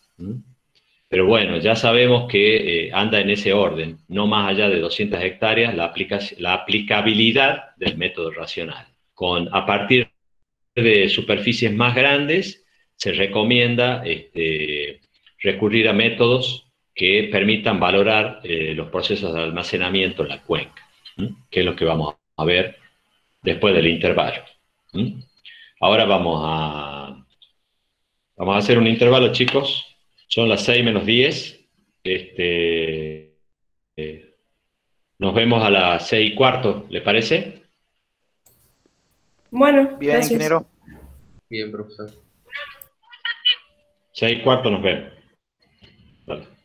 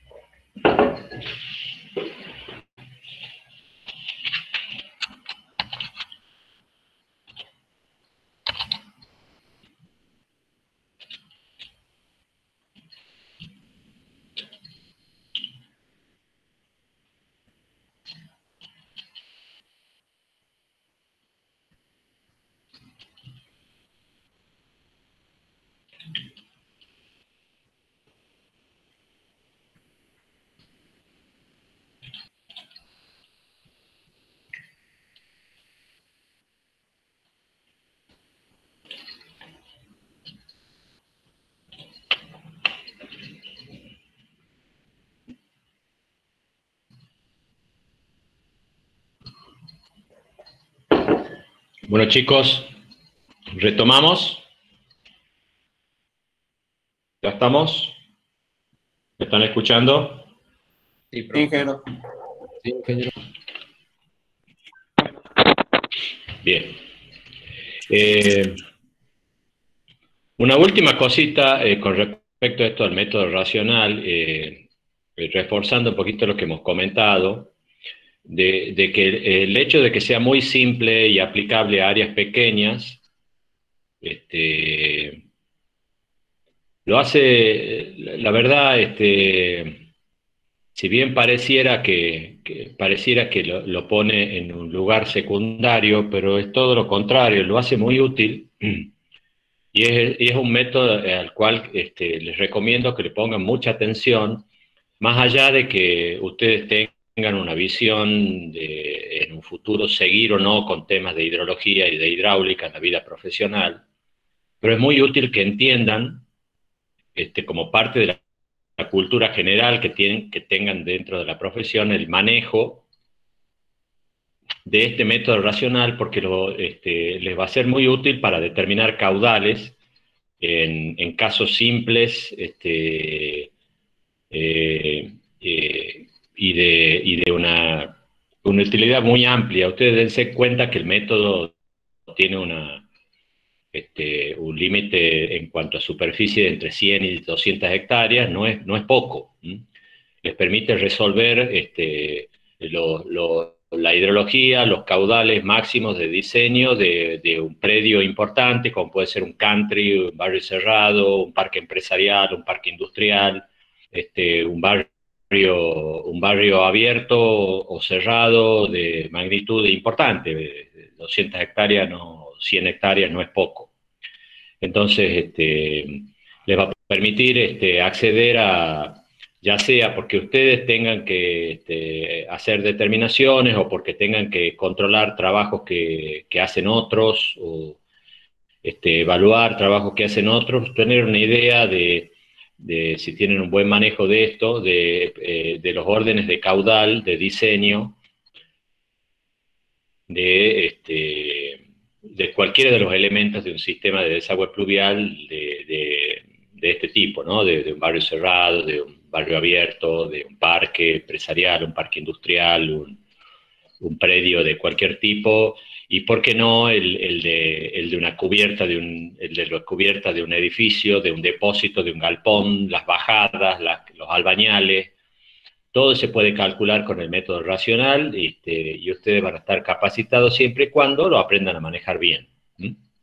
Este, lo importante es entender que para poder utilizar el método racional adecuadamente, tiene que conseguir una relación IDT, las curvas IDT o, la, en su versión eh, fórmulas, este, este, la relación IDT, para poder sacar las intensidades, determinar las áreas de aporte, eh, este, los tiempos de concentración a través de las fórmulas que ustedes ya han visto, el método de Kirpich, el SCS, el onda cinemática, este, y este, ponderar los coeficientes de correctía fundamentalmente en base a los porcentajes de impermeabilización. La parte que no está impermeabilizada la valorarán si es que tiene cobertura vegetal o no, qué tipo de cobertura, y van a ver que si uno empieza a familiarizarse con los valores, este, eh, eh, se puede trabajar con bastante seguridad eh, la determinación del coeficiente de correntía.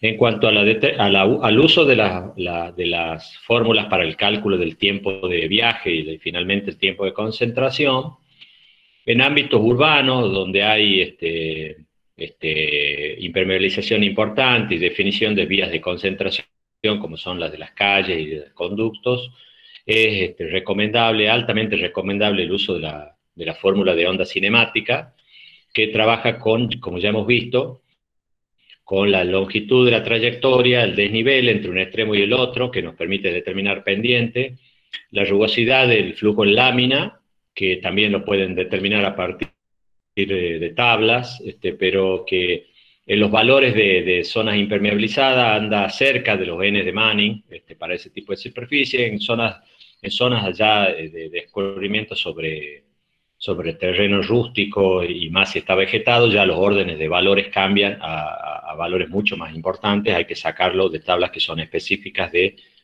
la rugosidad de flujo en lámina.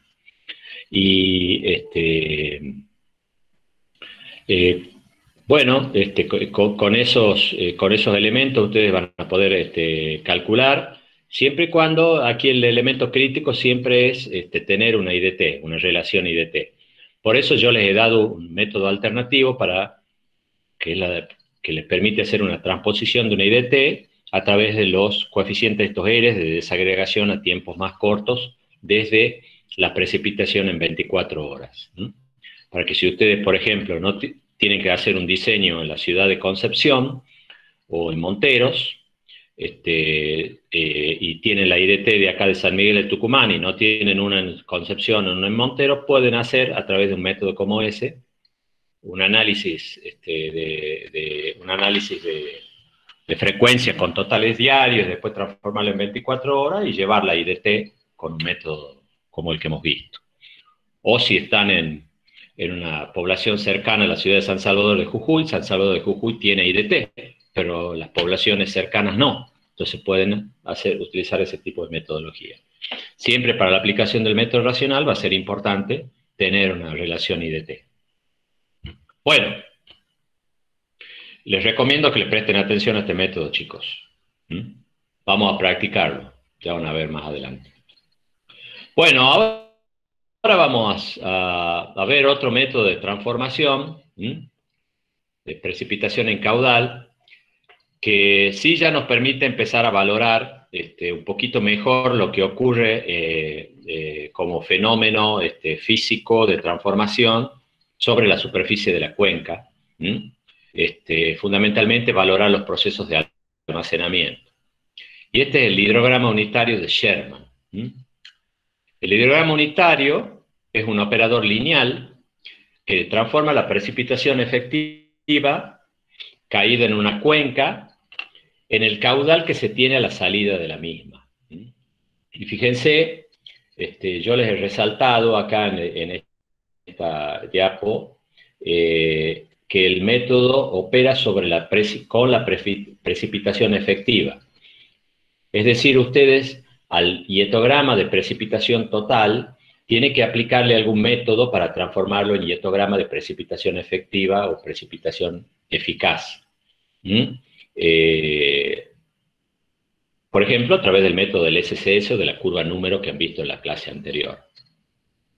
Bueno, en cuanto al método, es un modelo hidrológico de transformación de lluvia efectiva en caudal, donde la lluvia es la entrada y el caudal es la salida este, eh, de ese operador.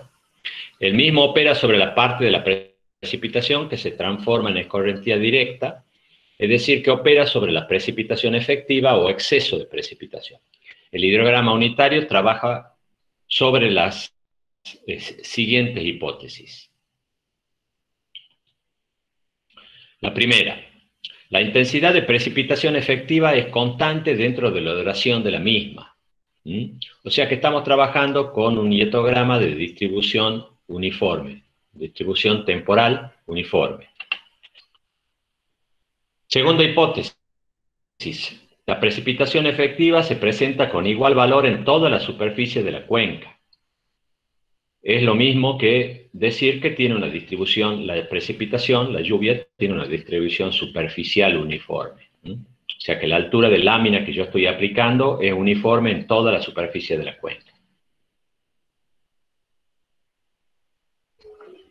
La tercera hipótesis nos dice que los tiempos de base de los hidrogramas de crecida de escorrentía directa son constantes para una duración de precipitación efectiva dada.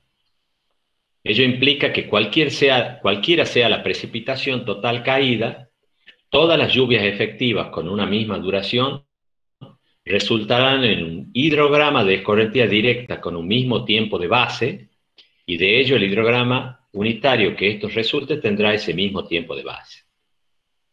Eh, nosotros hemos visto ya eh, eh, hace dos clases a lo que le llamamos tiempo de base. Cuando nosotros medimos caudal en un cauce, estamos aforando,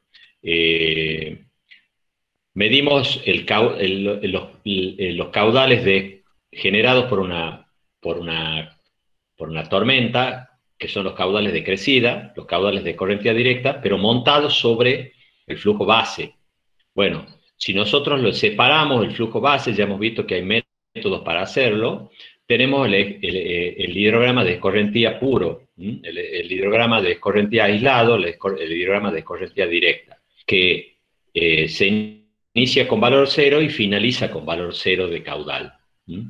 El tiempo que transcurre entre el inicio y el final de la escorrentía directa, entre esos dos valores cero, es lo que llamamos el tiempo de base. Ya eso también lo hemos visto en las clases anteriores. Lo que está diciendo esta hipótesis es que hay una relación biunívoca entre la duración de la lluvia efectiva que produce ese hidrograma y el, tiempo de base de ese hidrograma. Es decir, que todos los hidrogramas que eh, tienen un mismo tiempo de base, que yo puedo estar midiendo en una estación de aforo, le ha correspondido, según las hipótesis de este método, una lluvia con una misma duración efectiva. ¿Y por qué hablamos de duración efectiva? Porque acuérdense que nosotros venimos de un hietograma de precipitación total, que tendrá asociado una duración desde que inicia hasta que finaliza la lluvia, que es la lluvia del hietograma de precipitación total. Pero cuando yo le aplico un método para el cálculo de las pérdidas y de esa forma determino un hietograma de precipitación efectiva, la duración va a ser menor. ¿Mm? Entonces, a esa duración que corresponde ya al hietograma de precipitación efectiva le llamamos duración efectiva, ¿Mm? o duración del hietograma de precipitación efectiva. Entonces, lo que, dice la hipótesis del método es que eh, hay una relación biounívoca entre el, el, tiempo de base del hidrograma que se genera y la duración de lluvia que genera ese hidrograma, ¿Mm? La duración de lluvia efectiva. Bueno, las ordenadas de todos los hidrogramas de corriente directa, esta es una cuarta hipótesis, las ordenadas de todos los hidrogramas de corriente directa con el mismo tiempo de base son proporcionales al volumen de corriente directa involucrado en cada uno de los hidrogramas. ¿Por qué estamos hablando de, de, en plural? Porque ya van a ver, este método eh, eh, ha sido concebido eh, para generar un hidrograma a partir de hidrogramas medidos en una estación de aforo. ¿Mm? Este, hidrogramas que, que, nos permiten definir lo que uno, este operador lineal que es el hidrograma unitario a partir de hidrogramas medidos en una estación de aforo es un hidrograma que va a caracterizar la forma de descarga de la cuenca, que vamos a ver. Entonces, este, lo que dice esta cuarta hipótesis es que eh, si yo tengo este, un, eh, hidrogramas con un mismo tiempo de base, si yo agrupo todos los hidrogramas medidos durante la historia de la estación de aforo que estoy midiendo en un cauce, agrupo todos los hidrogramas que tienen un mismo tiempo de base, este, y que sabemos que les corresponde una única duración de lluvia por la hipótesis 3, las este, ordenadas de ese hidrograma van a ser proporcional, proporcionales al volumen de escorrentía directa involucrado en ese hidrograma. Si ustedes integran el área bajo la curva del hidrograma, como es una marcha de caudales, volumen en la unidad de tiempo, se integran en el tiempo, lo que le está dando el área bajo la curva es un volumen. Ese volumen es el volumen aportado por la precipitación efectiva, que si lo dividen en el área de la cuenca le va a dar una altura de lámina media aplicada sobre la superficie de la cuenca. Lo que dice esta hipótesis 4 es que las ordenadas de ese hidrograma son proporcionales al volumen de escorrentía. Si aumenta el volumen de escorrentía, proporcionalmente tienen que aumentar las ordenadas del hidrograma. Para, por último, la, hipótesis 5 nos dice que para una cuenca el hidrograma de escorrentía resultante de una precipitación efectiva expone las características no cambiantes de la cuenca. En términos lisos y llanos, este este término, este, esta hipótesis nos dice que la cuenca descarga siempre igual. ¿Qué quiere decir esto? Que si la lluvia es más o menos la misma, ¿y qué significa que la lluvia es más o menos la misma? Que tiene la misma altura de lámina y la misma duración, la cuenca tiene que descargar más o menos siempre igual. Entonces le debería corresponder un mismo hidrograma a un mismo tipo de lluvia. Una lluvia con la misma altura de lámina y la misma duración debería la cuenca siempre responder con el mismo hidrograma. Sabemos que en la realidad eso no es así, ¿sí? pero el, el hipótesis, la hipótesis del método este, asume eso.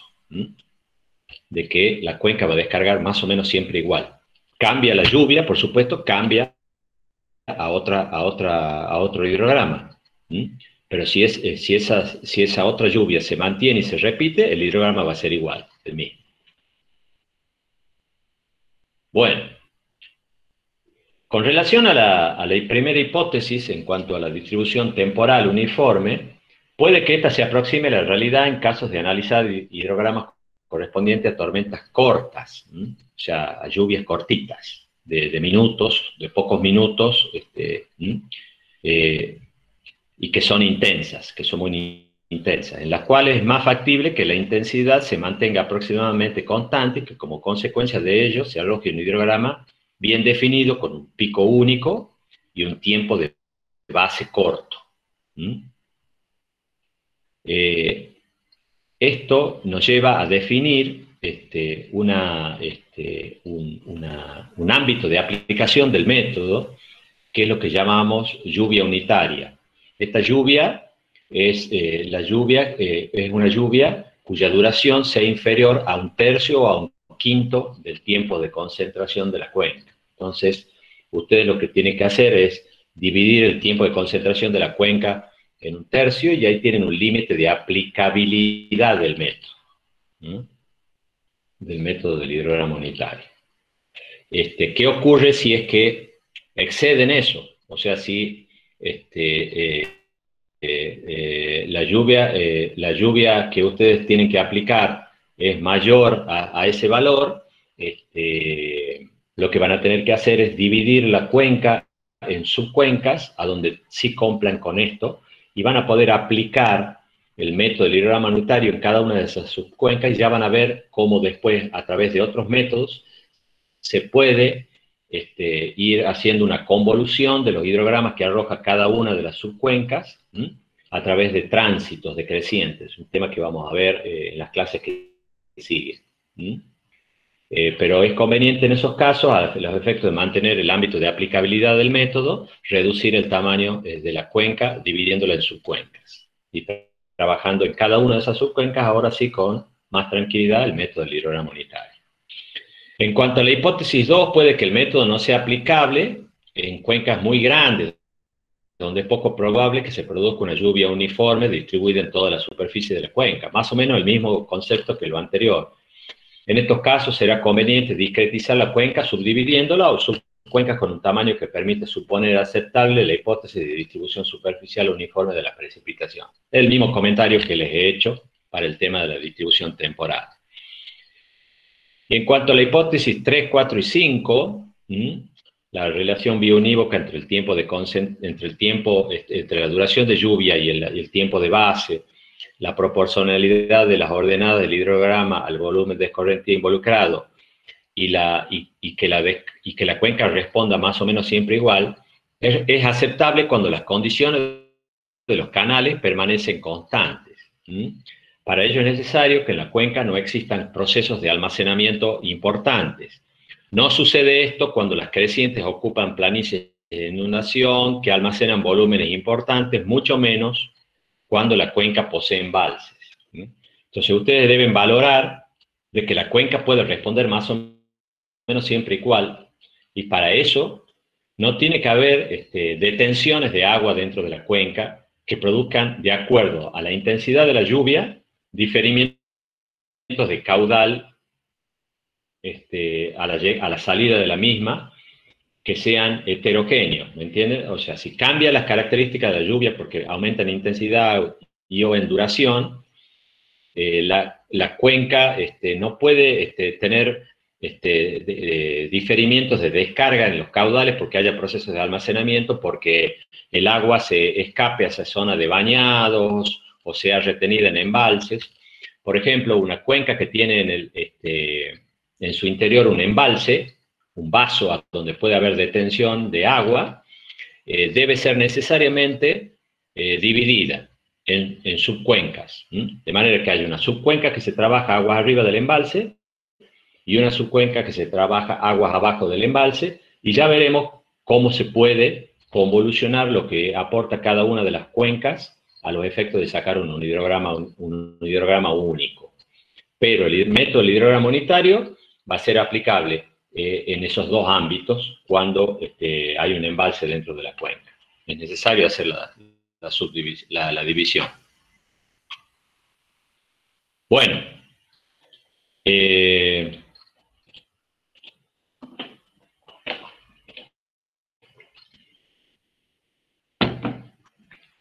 Veamos cómo se obtiene el, hidrograma unitario. Ya hemos dicho que se obtiene a partir de hidrogramas medidos. Son hidrogramas este, eh, medidos con una estación de aforo en un cauce, por donde circula el caudal que arroja la cuenca como respuesta a una caída de precipitación. Si es un cauce, este, eh, eh, si es un cauce, un canal o lo que sea donde no hay caudal permanente y se produce solo caudal cuando hay precipitación, ustedes van a tener siempre la posibilidad de medir un, hidrograma, este, un hidrograma de escorrentía directa sin, sin estar montado sobre un flujo base. Ahora, si ustedes tienen caudales que permanentes en el, en el cauce este, o en el canal donde están midiendo, va a haber que separar el flujo base para determinar el eh, hidrograma de corriente directa, el, de crecida, que es el con el cual yo voy a determinar el hidrograma unitario. Eh, el método, lo que tienen aquí este, ustedes representado eh, en, los gráficos, fíjense, eh, es lo que expone la, la, cuarta, la, primero, la, tercera hipótesis, este, en cuanto a que todos los hidrogramas tienen un mismo tiempo de base. Por lo tanto, sabemos que tienen una lluvia con una misma duración.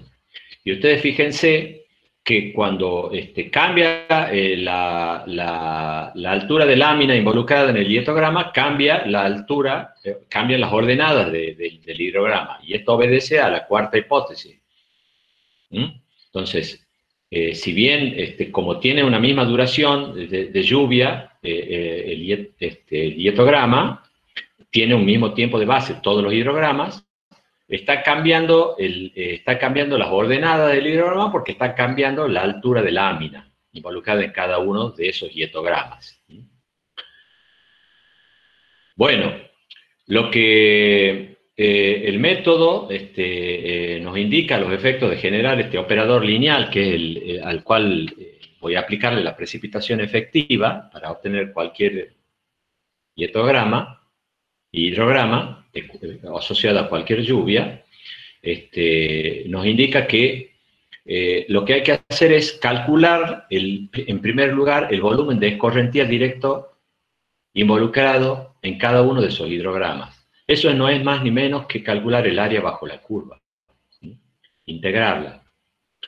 Para eso podemos recurrir este, a discretizar la variable tiempo en intervalos delta de t e integrar a través de los trapecios que quedan así definidos bajo la curva, con las sumatorias desde 1 igual a n de las ordenadas del hidrograma, Q sub i, eh, multiplicadas, la sumatoria, o sea, la suma de todas esas ordenadas, por el intervalo delta de t según el cual hemos discretizado la variable tiempo.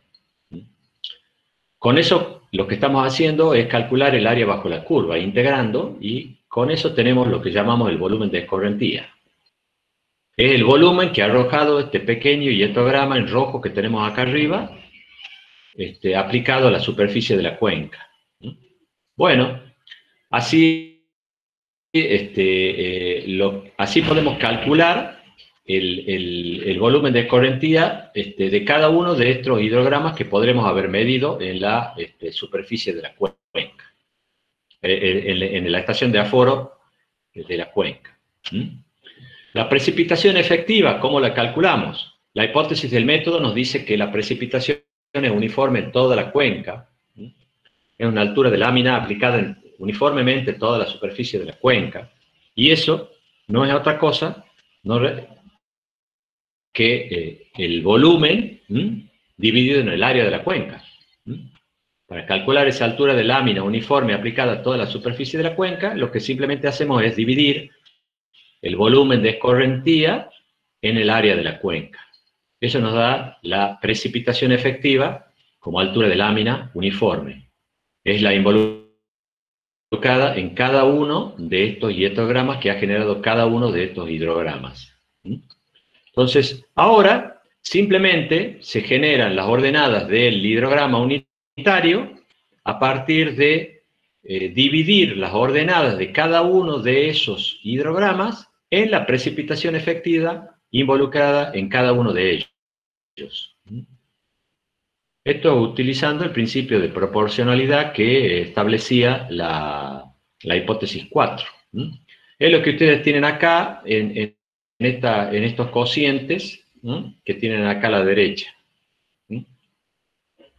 Ustedes tienen un primer este, hidrograma este, eh, eh, que tiene una lluvia intermedia con ordenadas intermedias, después tiene representado un hietograma con una precipitación un poco más alta y por lo tanto tienen ordenadas más altas, más grandes en el hidrograma, y por último le ponemos una precipitación, la más pequeña de las tres, obviamente con las ordenadas en el hidrograma, las más chicas. Y es lo que usted tiene representado acá. Eh, lo, que, lo que nos está pidiendo el método es que generemos ahora un hidrograma que corresponda a una precipitación unitaria, con las unidades que nosotros estamos manejando, ¿qué significa esto? Una precipitación de un milímetro, una precipitación de un milímetro. Entonces, para eso, lo que hacemos es dividir las ordenadas de cada uno de los hidrogramas en la precipitación efectiva que lo ha generado, que es lo que ustedes tienen acá en esta ecuación, de esta fórmula. Entonces, de esa forma, obtienen este operador que corresponde a un este, milímetro de precipitación. Entonces van a tener las ordenadas de un hidrograma, este, que le llamamos hidrograma unitario. ¿Por qué? Porque eh, caracteriza la forma en que descarga la cuenca una precipitación cualquiera y que en este caso equivale a una precipitación de un milímetro.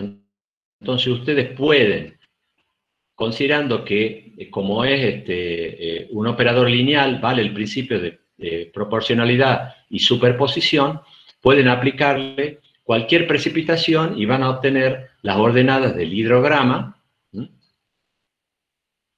las ordenadas del hidrograma de descarga de la cuenca para esa precipitación, con la salvedad de que este, este hidrograma, con ese tiempo de base, solo es válido para lluvias, lluvias con, una, con esa duración que es la que ustedes han obtenido, para la cual ustedes han trabajado y han obtenido este hidrograma unitario.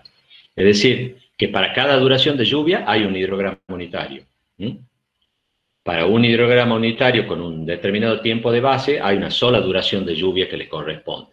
Y para una duración de lluvia determinada en una cuenca, le corresponde un hidrograma con una única con un único tiempo de base. O sea que hay un, hidrograma unitario con ese tiempo de base únicamente. Si ustedes cambian la duración de lluvia, tienen que buscar otro hidrograma unitario que tendrá otro tiempo de base. ¿Mm?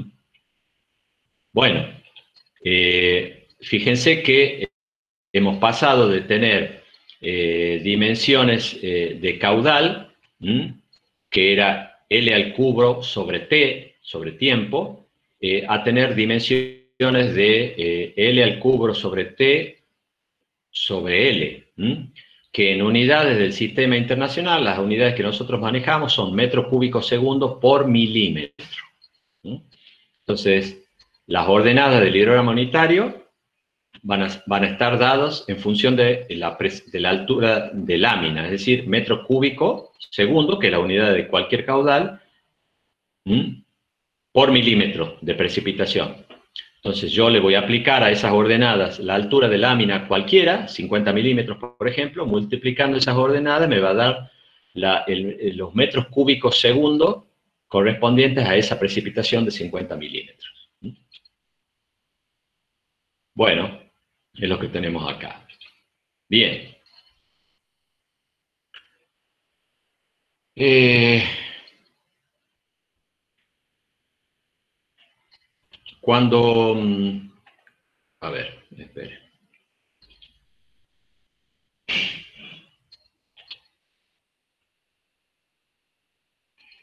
Cuando nosotros estamos trabajando con hidrogramas que eh, vienen de, una estación de aforo, y nosotros le hacemos el trabajo este de, de separar el flujo base, o no, este, sea o no necesario, siempre tiene que quedar el hidrograma de corriente directa, separado. Y cuando hemos hecho ese trabajo, este, llegamos a un conjunto de hidrogramas y tenemos la posibilidad, si es que hemos medido durante muchos años este, la posibilidad de tener muchos hidrogramas, vamos, lo que vamos a hacer es agruparlos según un mismo tiempo de base. ¿Por qué? Porque lo que buscamos es que eh, eh, los hidrogramas este, que vamos a analizar en, un conjunto correspondan todos a una misma duración de lluvia, trabajando sobre la hipótesis del método que nos dice que hay una relación biunívoca entre el tiempo de base y la duración de la lluvia. Entonces, lo que va a pasar es que vamos a tener un conjunto de hidrogramas medidos con un mismo tiempo de base que este, transformándolo en unitario con la- las operaciones que hemos visto anteriormente, dividiéndolo en la precipitación efectiva a las ordenadas del hidrograma de origen, vamos a tener un conjunto de hidrogramas unitarios. Y la hipótesis del método nos dice que, bueno, debemos tener uno solo, porque la cuenca siempre responde más o menos igual. Y lo que ocurre es que eh, ustedes van a medir hidrogramas que, como ven aquí, digamos, quizá este está un poquito exagerado, tienen distintas formas. Todos son hidrogramas unitarios de una misma cuenca y todos tienen el mismo tiempo de base. ¿Mm? Y bueno, ¿con cuál nos quedamos? Lo que se recomienda es armar lo que se llama el hidrograma unitario promedio. ¿Mm? Para eso vamos a observar eh, los caudales pico, ¿m?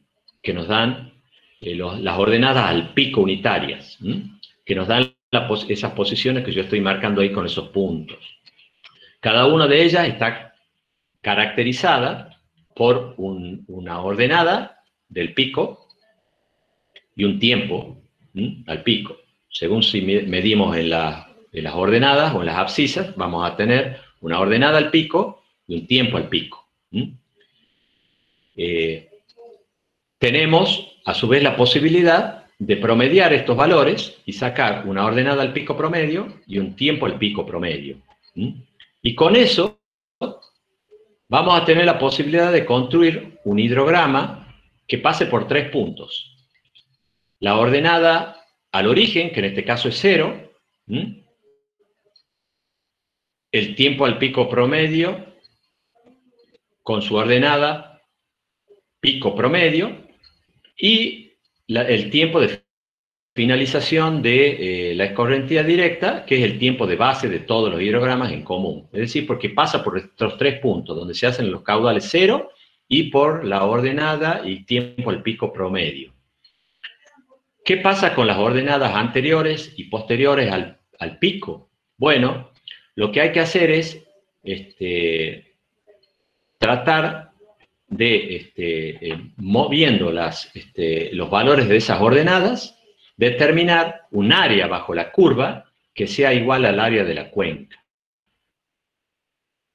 ¿Alguno de ustedes me puede decir por qué tiene que ser el área, de la el área bajo la curva igual al área de la cuenca?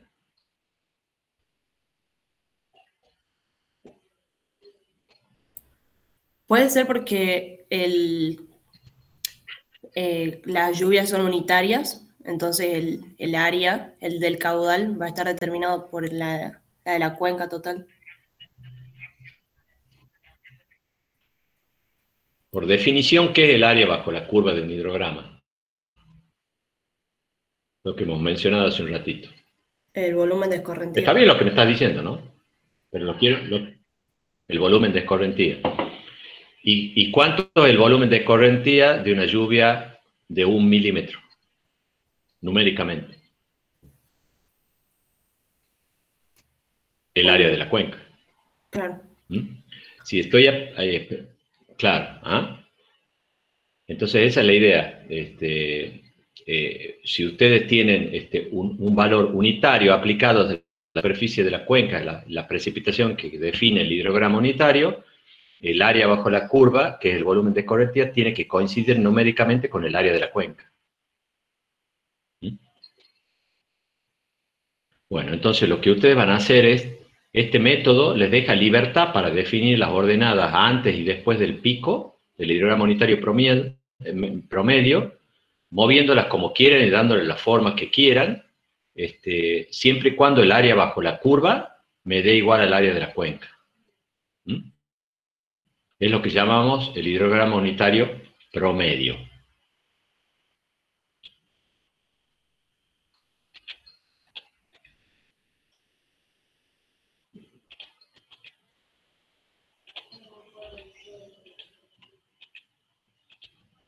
Bueno.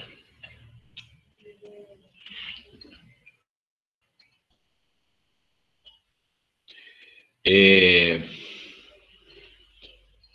bueno, creo que por ahí, antes que empecemos con esto que sigue, eh, Sí, es mejor que lo dejemos ya para la clase que viene, pues ya son las 7 de la tarde y creo que es, un- una, bueno, es un- una instancia adecuada como para interrumpir esto conceptualmente. ¿m? Y lo retomamos en la clase que viene. ¿Les parece? Bien, No quiero entender los perfecto. demás, porque si, si yo empiezo con esto... ¿m? Bueno, este... ¿Alguna pregunta antes que cerremos?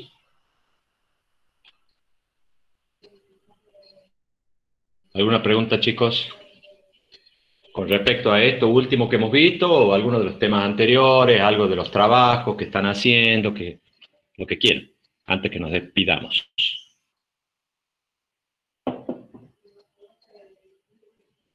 Ingeniero. Bueno, eh, la recomendación de siempre, si, si no, no- sí, dime. Eh, a mí me quedó una duda de la clase pasada con el ingeniero Gervasoni.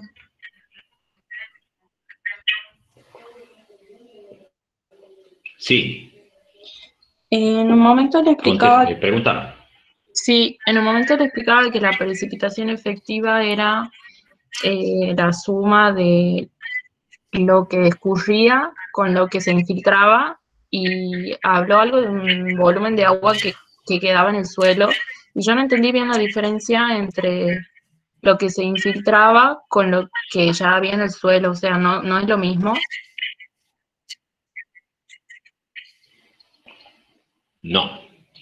Eh, este, a ver, yo quiero que, eh, yo quiero que, les voy a repetir algo que por ahí, por ahí yo este, estoy siendo medio imprudente en, en- en avanzar en algo que les ha explicado eh, otra persona, eh, pero, pero voy a tratar de interpretar lo que vos me estás preguntando y, y te voy a hacer una, una, una aclaración creo que por ahí te va a facilitar a vos el entendimiento de este tema.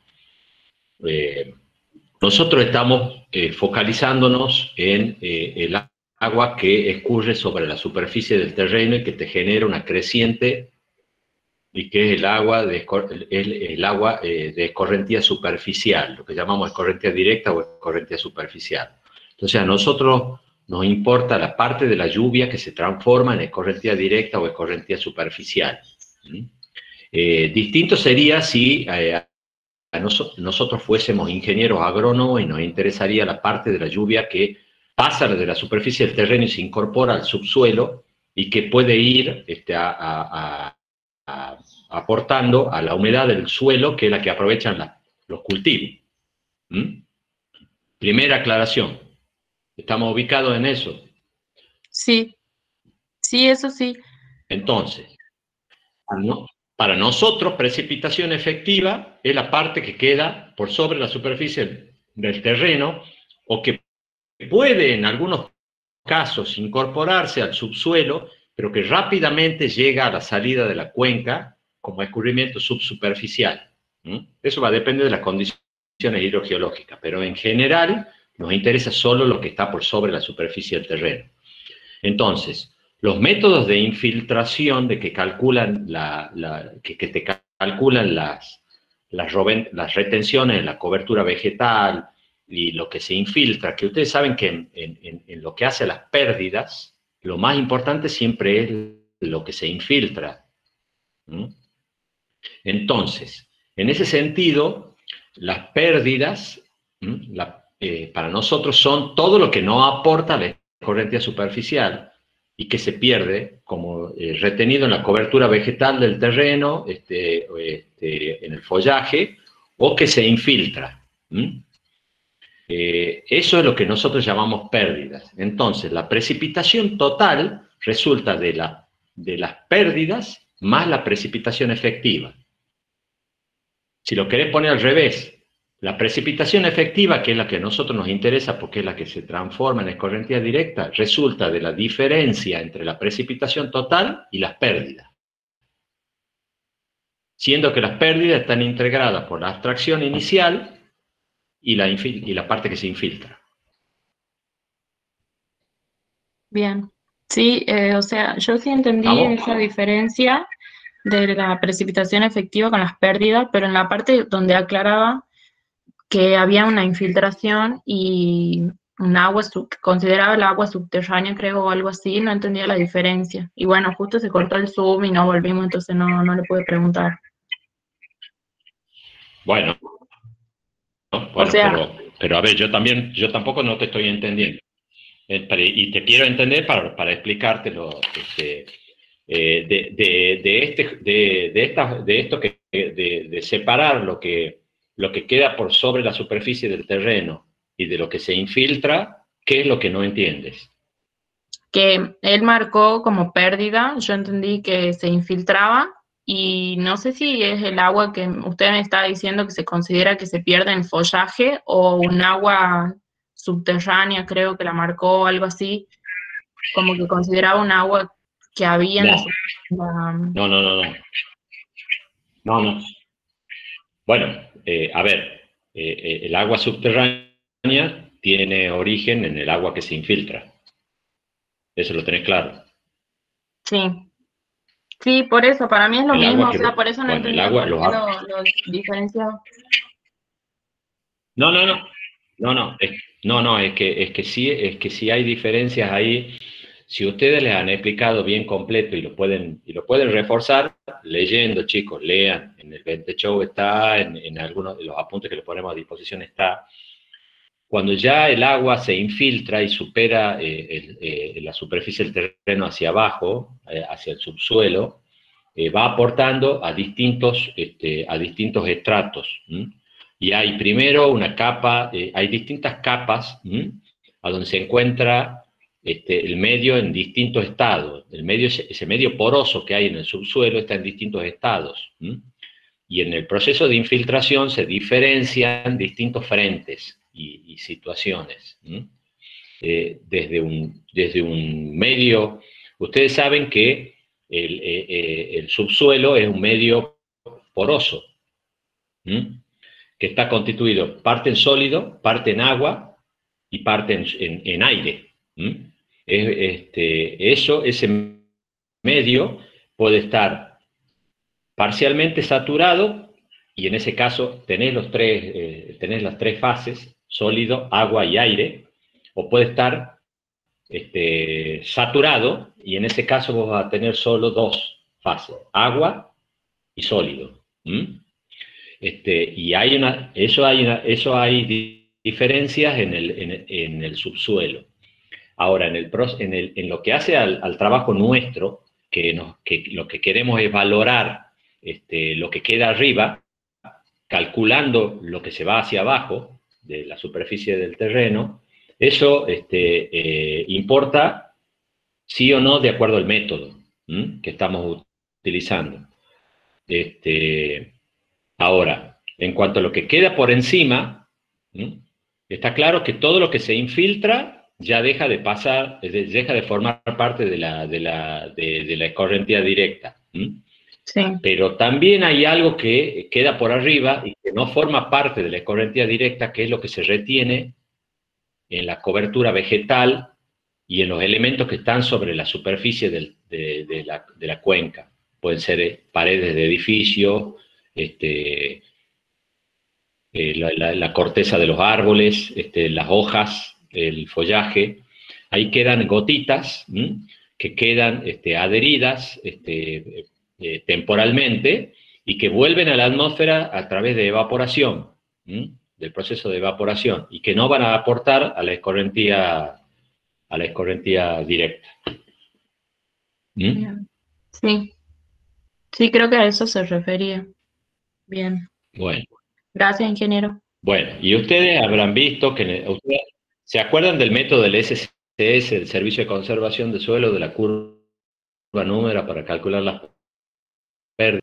Este, bien diferenciado para el cálculo de lo que se llama la abstracción inicial, que el método este, recomienda computarla como 0,2, el 20% de la abstracción potencial, y, y el resto que es la eh, abstracción, eh, y el resto que es, es básicamente lo que se infiltra, que es el grueso, que es lo que viene después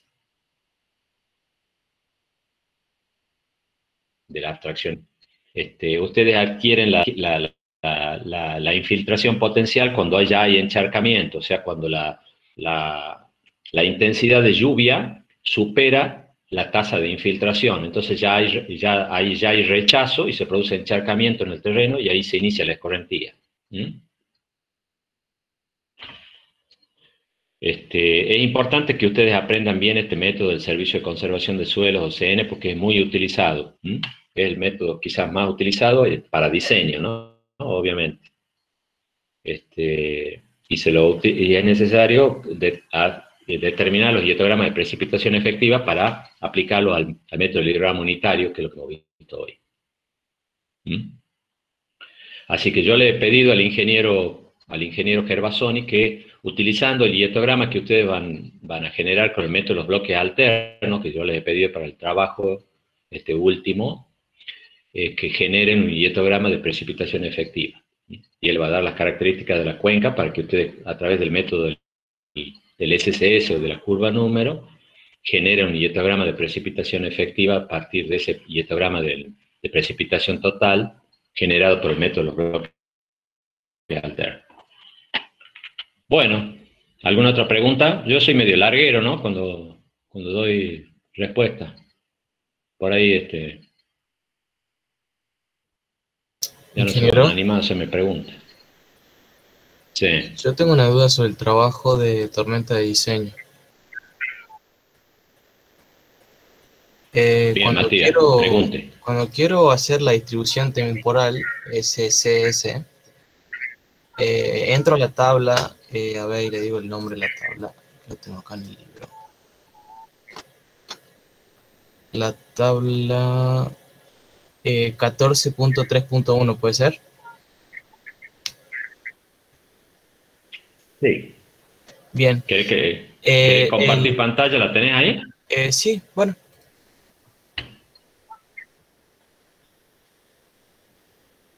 Yo la tengo también, pero ya que la tenía a mano, compartimos la pantalla.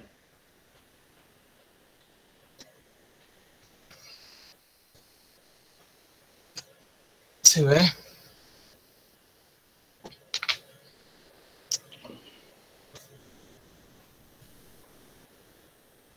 Eh, bien, el, tengo dudas yo, eh, bueno, la precipitación este, diaria ya la determinamos nosotros, que es este, esta, a los 10 años de 196. Pero, el, y bueno, después voy a hacer el gráfico este con el tipo 3, la hora, pero cuando quiero hacer la acumulada, necesito el, la precipita, el P24. No, no entiendo cómo, cómo determinarlo o de dónde lo saco. Como que me confunde un poco. Ah, te has perdido esa parte. Sí. Te has perdido, te has perdido esa parte porque lo, hemos explicado varias veces. Cuando vos pasás de precipitación diaria a precipitación de 24 horas, eh, lo que haces es, eh, supone que como la precipitación de 24 horas equivale a una ventana de 24 horas que no necesariamente tiene que tener el, comienzo a las 9 horas de, todos los días, que es cuando se hace la lectura de los pluviómetros de precipitación diaria, eh, asumes que eh, hay, un, eh, hay un incremento de la precipitación. Entonces se le aplica un coeficiente de mayoración. Nosotros hemos asumido que este valor es 1,13, que es el coeficiente universal de Hirschfeld. hay estudios locales en distintas localidades que recomiendan otros valores, pero nosotros estamos trabajando con 1,13. Entonces vos al, al extremo diario que has sacado del análisis de frecuencia, eh, lo afectas por 1,13 y te va a dar el, el, P24. Bien, ahí sí, sí. Yo sabía que tenía que afectarlo por un coeficiente, pero no me acordaba cuál era, de qué valor tenía. Y al no tener la clase no, no, no me acordaba. Pero sí, había que multiplicarlo por la precipitación diaria y bueno, eh, teniendo la acumulada lo, lo, iba multiplicando por el valor de cada, del tipo 3, ¿verdad? Bien, sí. Bien. Sí por los coeficientes estos que te dan la acumulada. Entonces, vos para generar el hietograma lo tienes que desacumular. Bien, esa era la duda. Y si, y si quisieran, y si quisieran ponerlos, ustedes fíjense que hay los tiempos que dan, no, no, no tienen una discretización temporal uniforme. Si ustedes quisieran imponerle una discretización temporal uniforme, deberían interpolar este, antes de desacumular.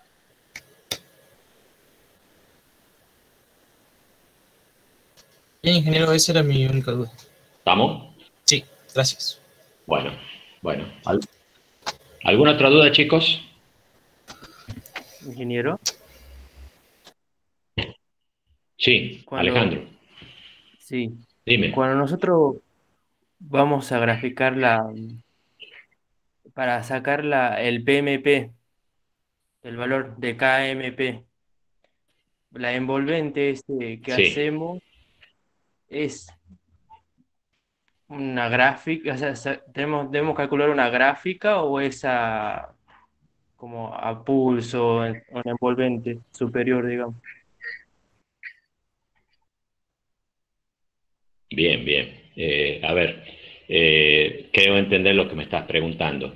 Eh, hay opciones, eh, lo que me- nos está preguntando su compañero es que, a ver, si me dan un minutito, yo voy a abrir el, el PowerPoint correspondiente.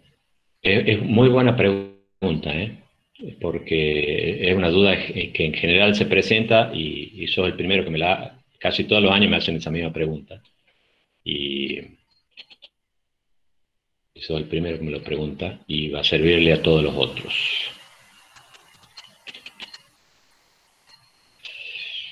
Bueno.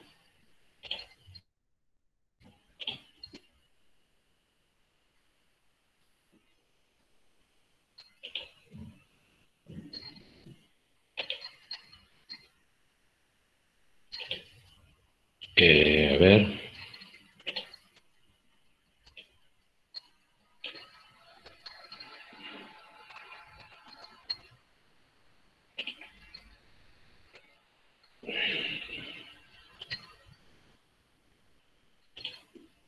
¿Ahí lo están viendo? ¿Están viendo? Este, la, la diapo. Bueno, lo que usted tiene, lo que me pregunta aquí este, Alejandro, este, es cómo construir esta curva eh, envolvente superior, que es la curva en rojo que yo tengo acá. Eh, una opción, eh, cuando está, este, ustedes tienen esta, nube de puntos, y obviamente hay, hay un- una, tendencia superior marcada por los puntos que están más arriba. Entonces, una opción es este, tomar solo esos pares de valores y meterlo en un programita como es el DataFit y, este, eh, y aproximar una curva, aproximar una expresión matemática cualquiera que les represente. Meten un polinomio de grado del que se le ocurre y le va a representar la tendencia dada por, esa, por esos puntos su- superiores. Pero tienen que hacerlo solo tomando los pares de valores que corresponden a esos puntos que están arriba de la nube, en la parte superior de la nube. O la otra opción, que es lo que se hacía antes cuando uno no disponía de, de ordenadores, de computadora, es hacerlo a mano. ¿m? Hacen un trazado a mano de la, de la envolvente, tirando esta línea roja, tocando los puntos, y después de la gráfica sacan los valores. Son dos opciones. ¿no? Este, qué sé yo, este, a mí me, a mí me gusta, este, me divierte más este, trabajar con lo otro y es más rápido, más eficiente. ¿ah? Este, eh, aislar la- los pares de valores de la, de, parte superior de la nube y, este, y aproximar una expresión matemática en un programita del DataFit. ¿Lo conocen al DataFit? Ese programa es fantástico, chicos. Le, sirve también para la IDT, para cualquiera de los trabajos que vayan a hacer en, este, eh, en adelante. Eh, el programa es, es un programita muy, muy útil. Este, búsquenlo. DataFit se llama. Les permite hacer regresiones lineales y no lineales y, y le- les da los errores y les da los gráficos. Entonces ustedes en un análisis visual se van a dar cuenta cuál es la fórmula que mejor aproxima la- el aire dado por la nube de puntos. Es fantástico ese programita. Se los recomiendo. DataFit.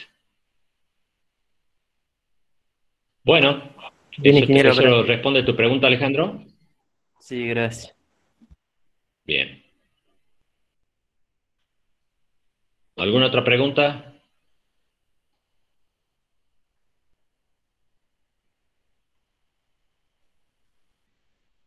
Bueno, chicos, este, como siempre, ya saben, se comunican conmigo a través del mail este, y, les respondo. Este, trabajen en, en- en la- parte de lluvias de diseño con la determinación de los hiestrogramas de precipitación este, y, bueno, y lo, que les he dado en ese instructivo y los de precipitación efectiva que les, que le encarga el ingeniero Gervasoni y, lo definamos hasta la semana que viene eso. Súbanlo y ya, y ya, ya lo vemos. Así podemos seguir con la parte de transformación.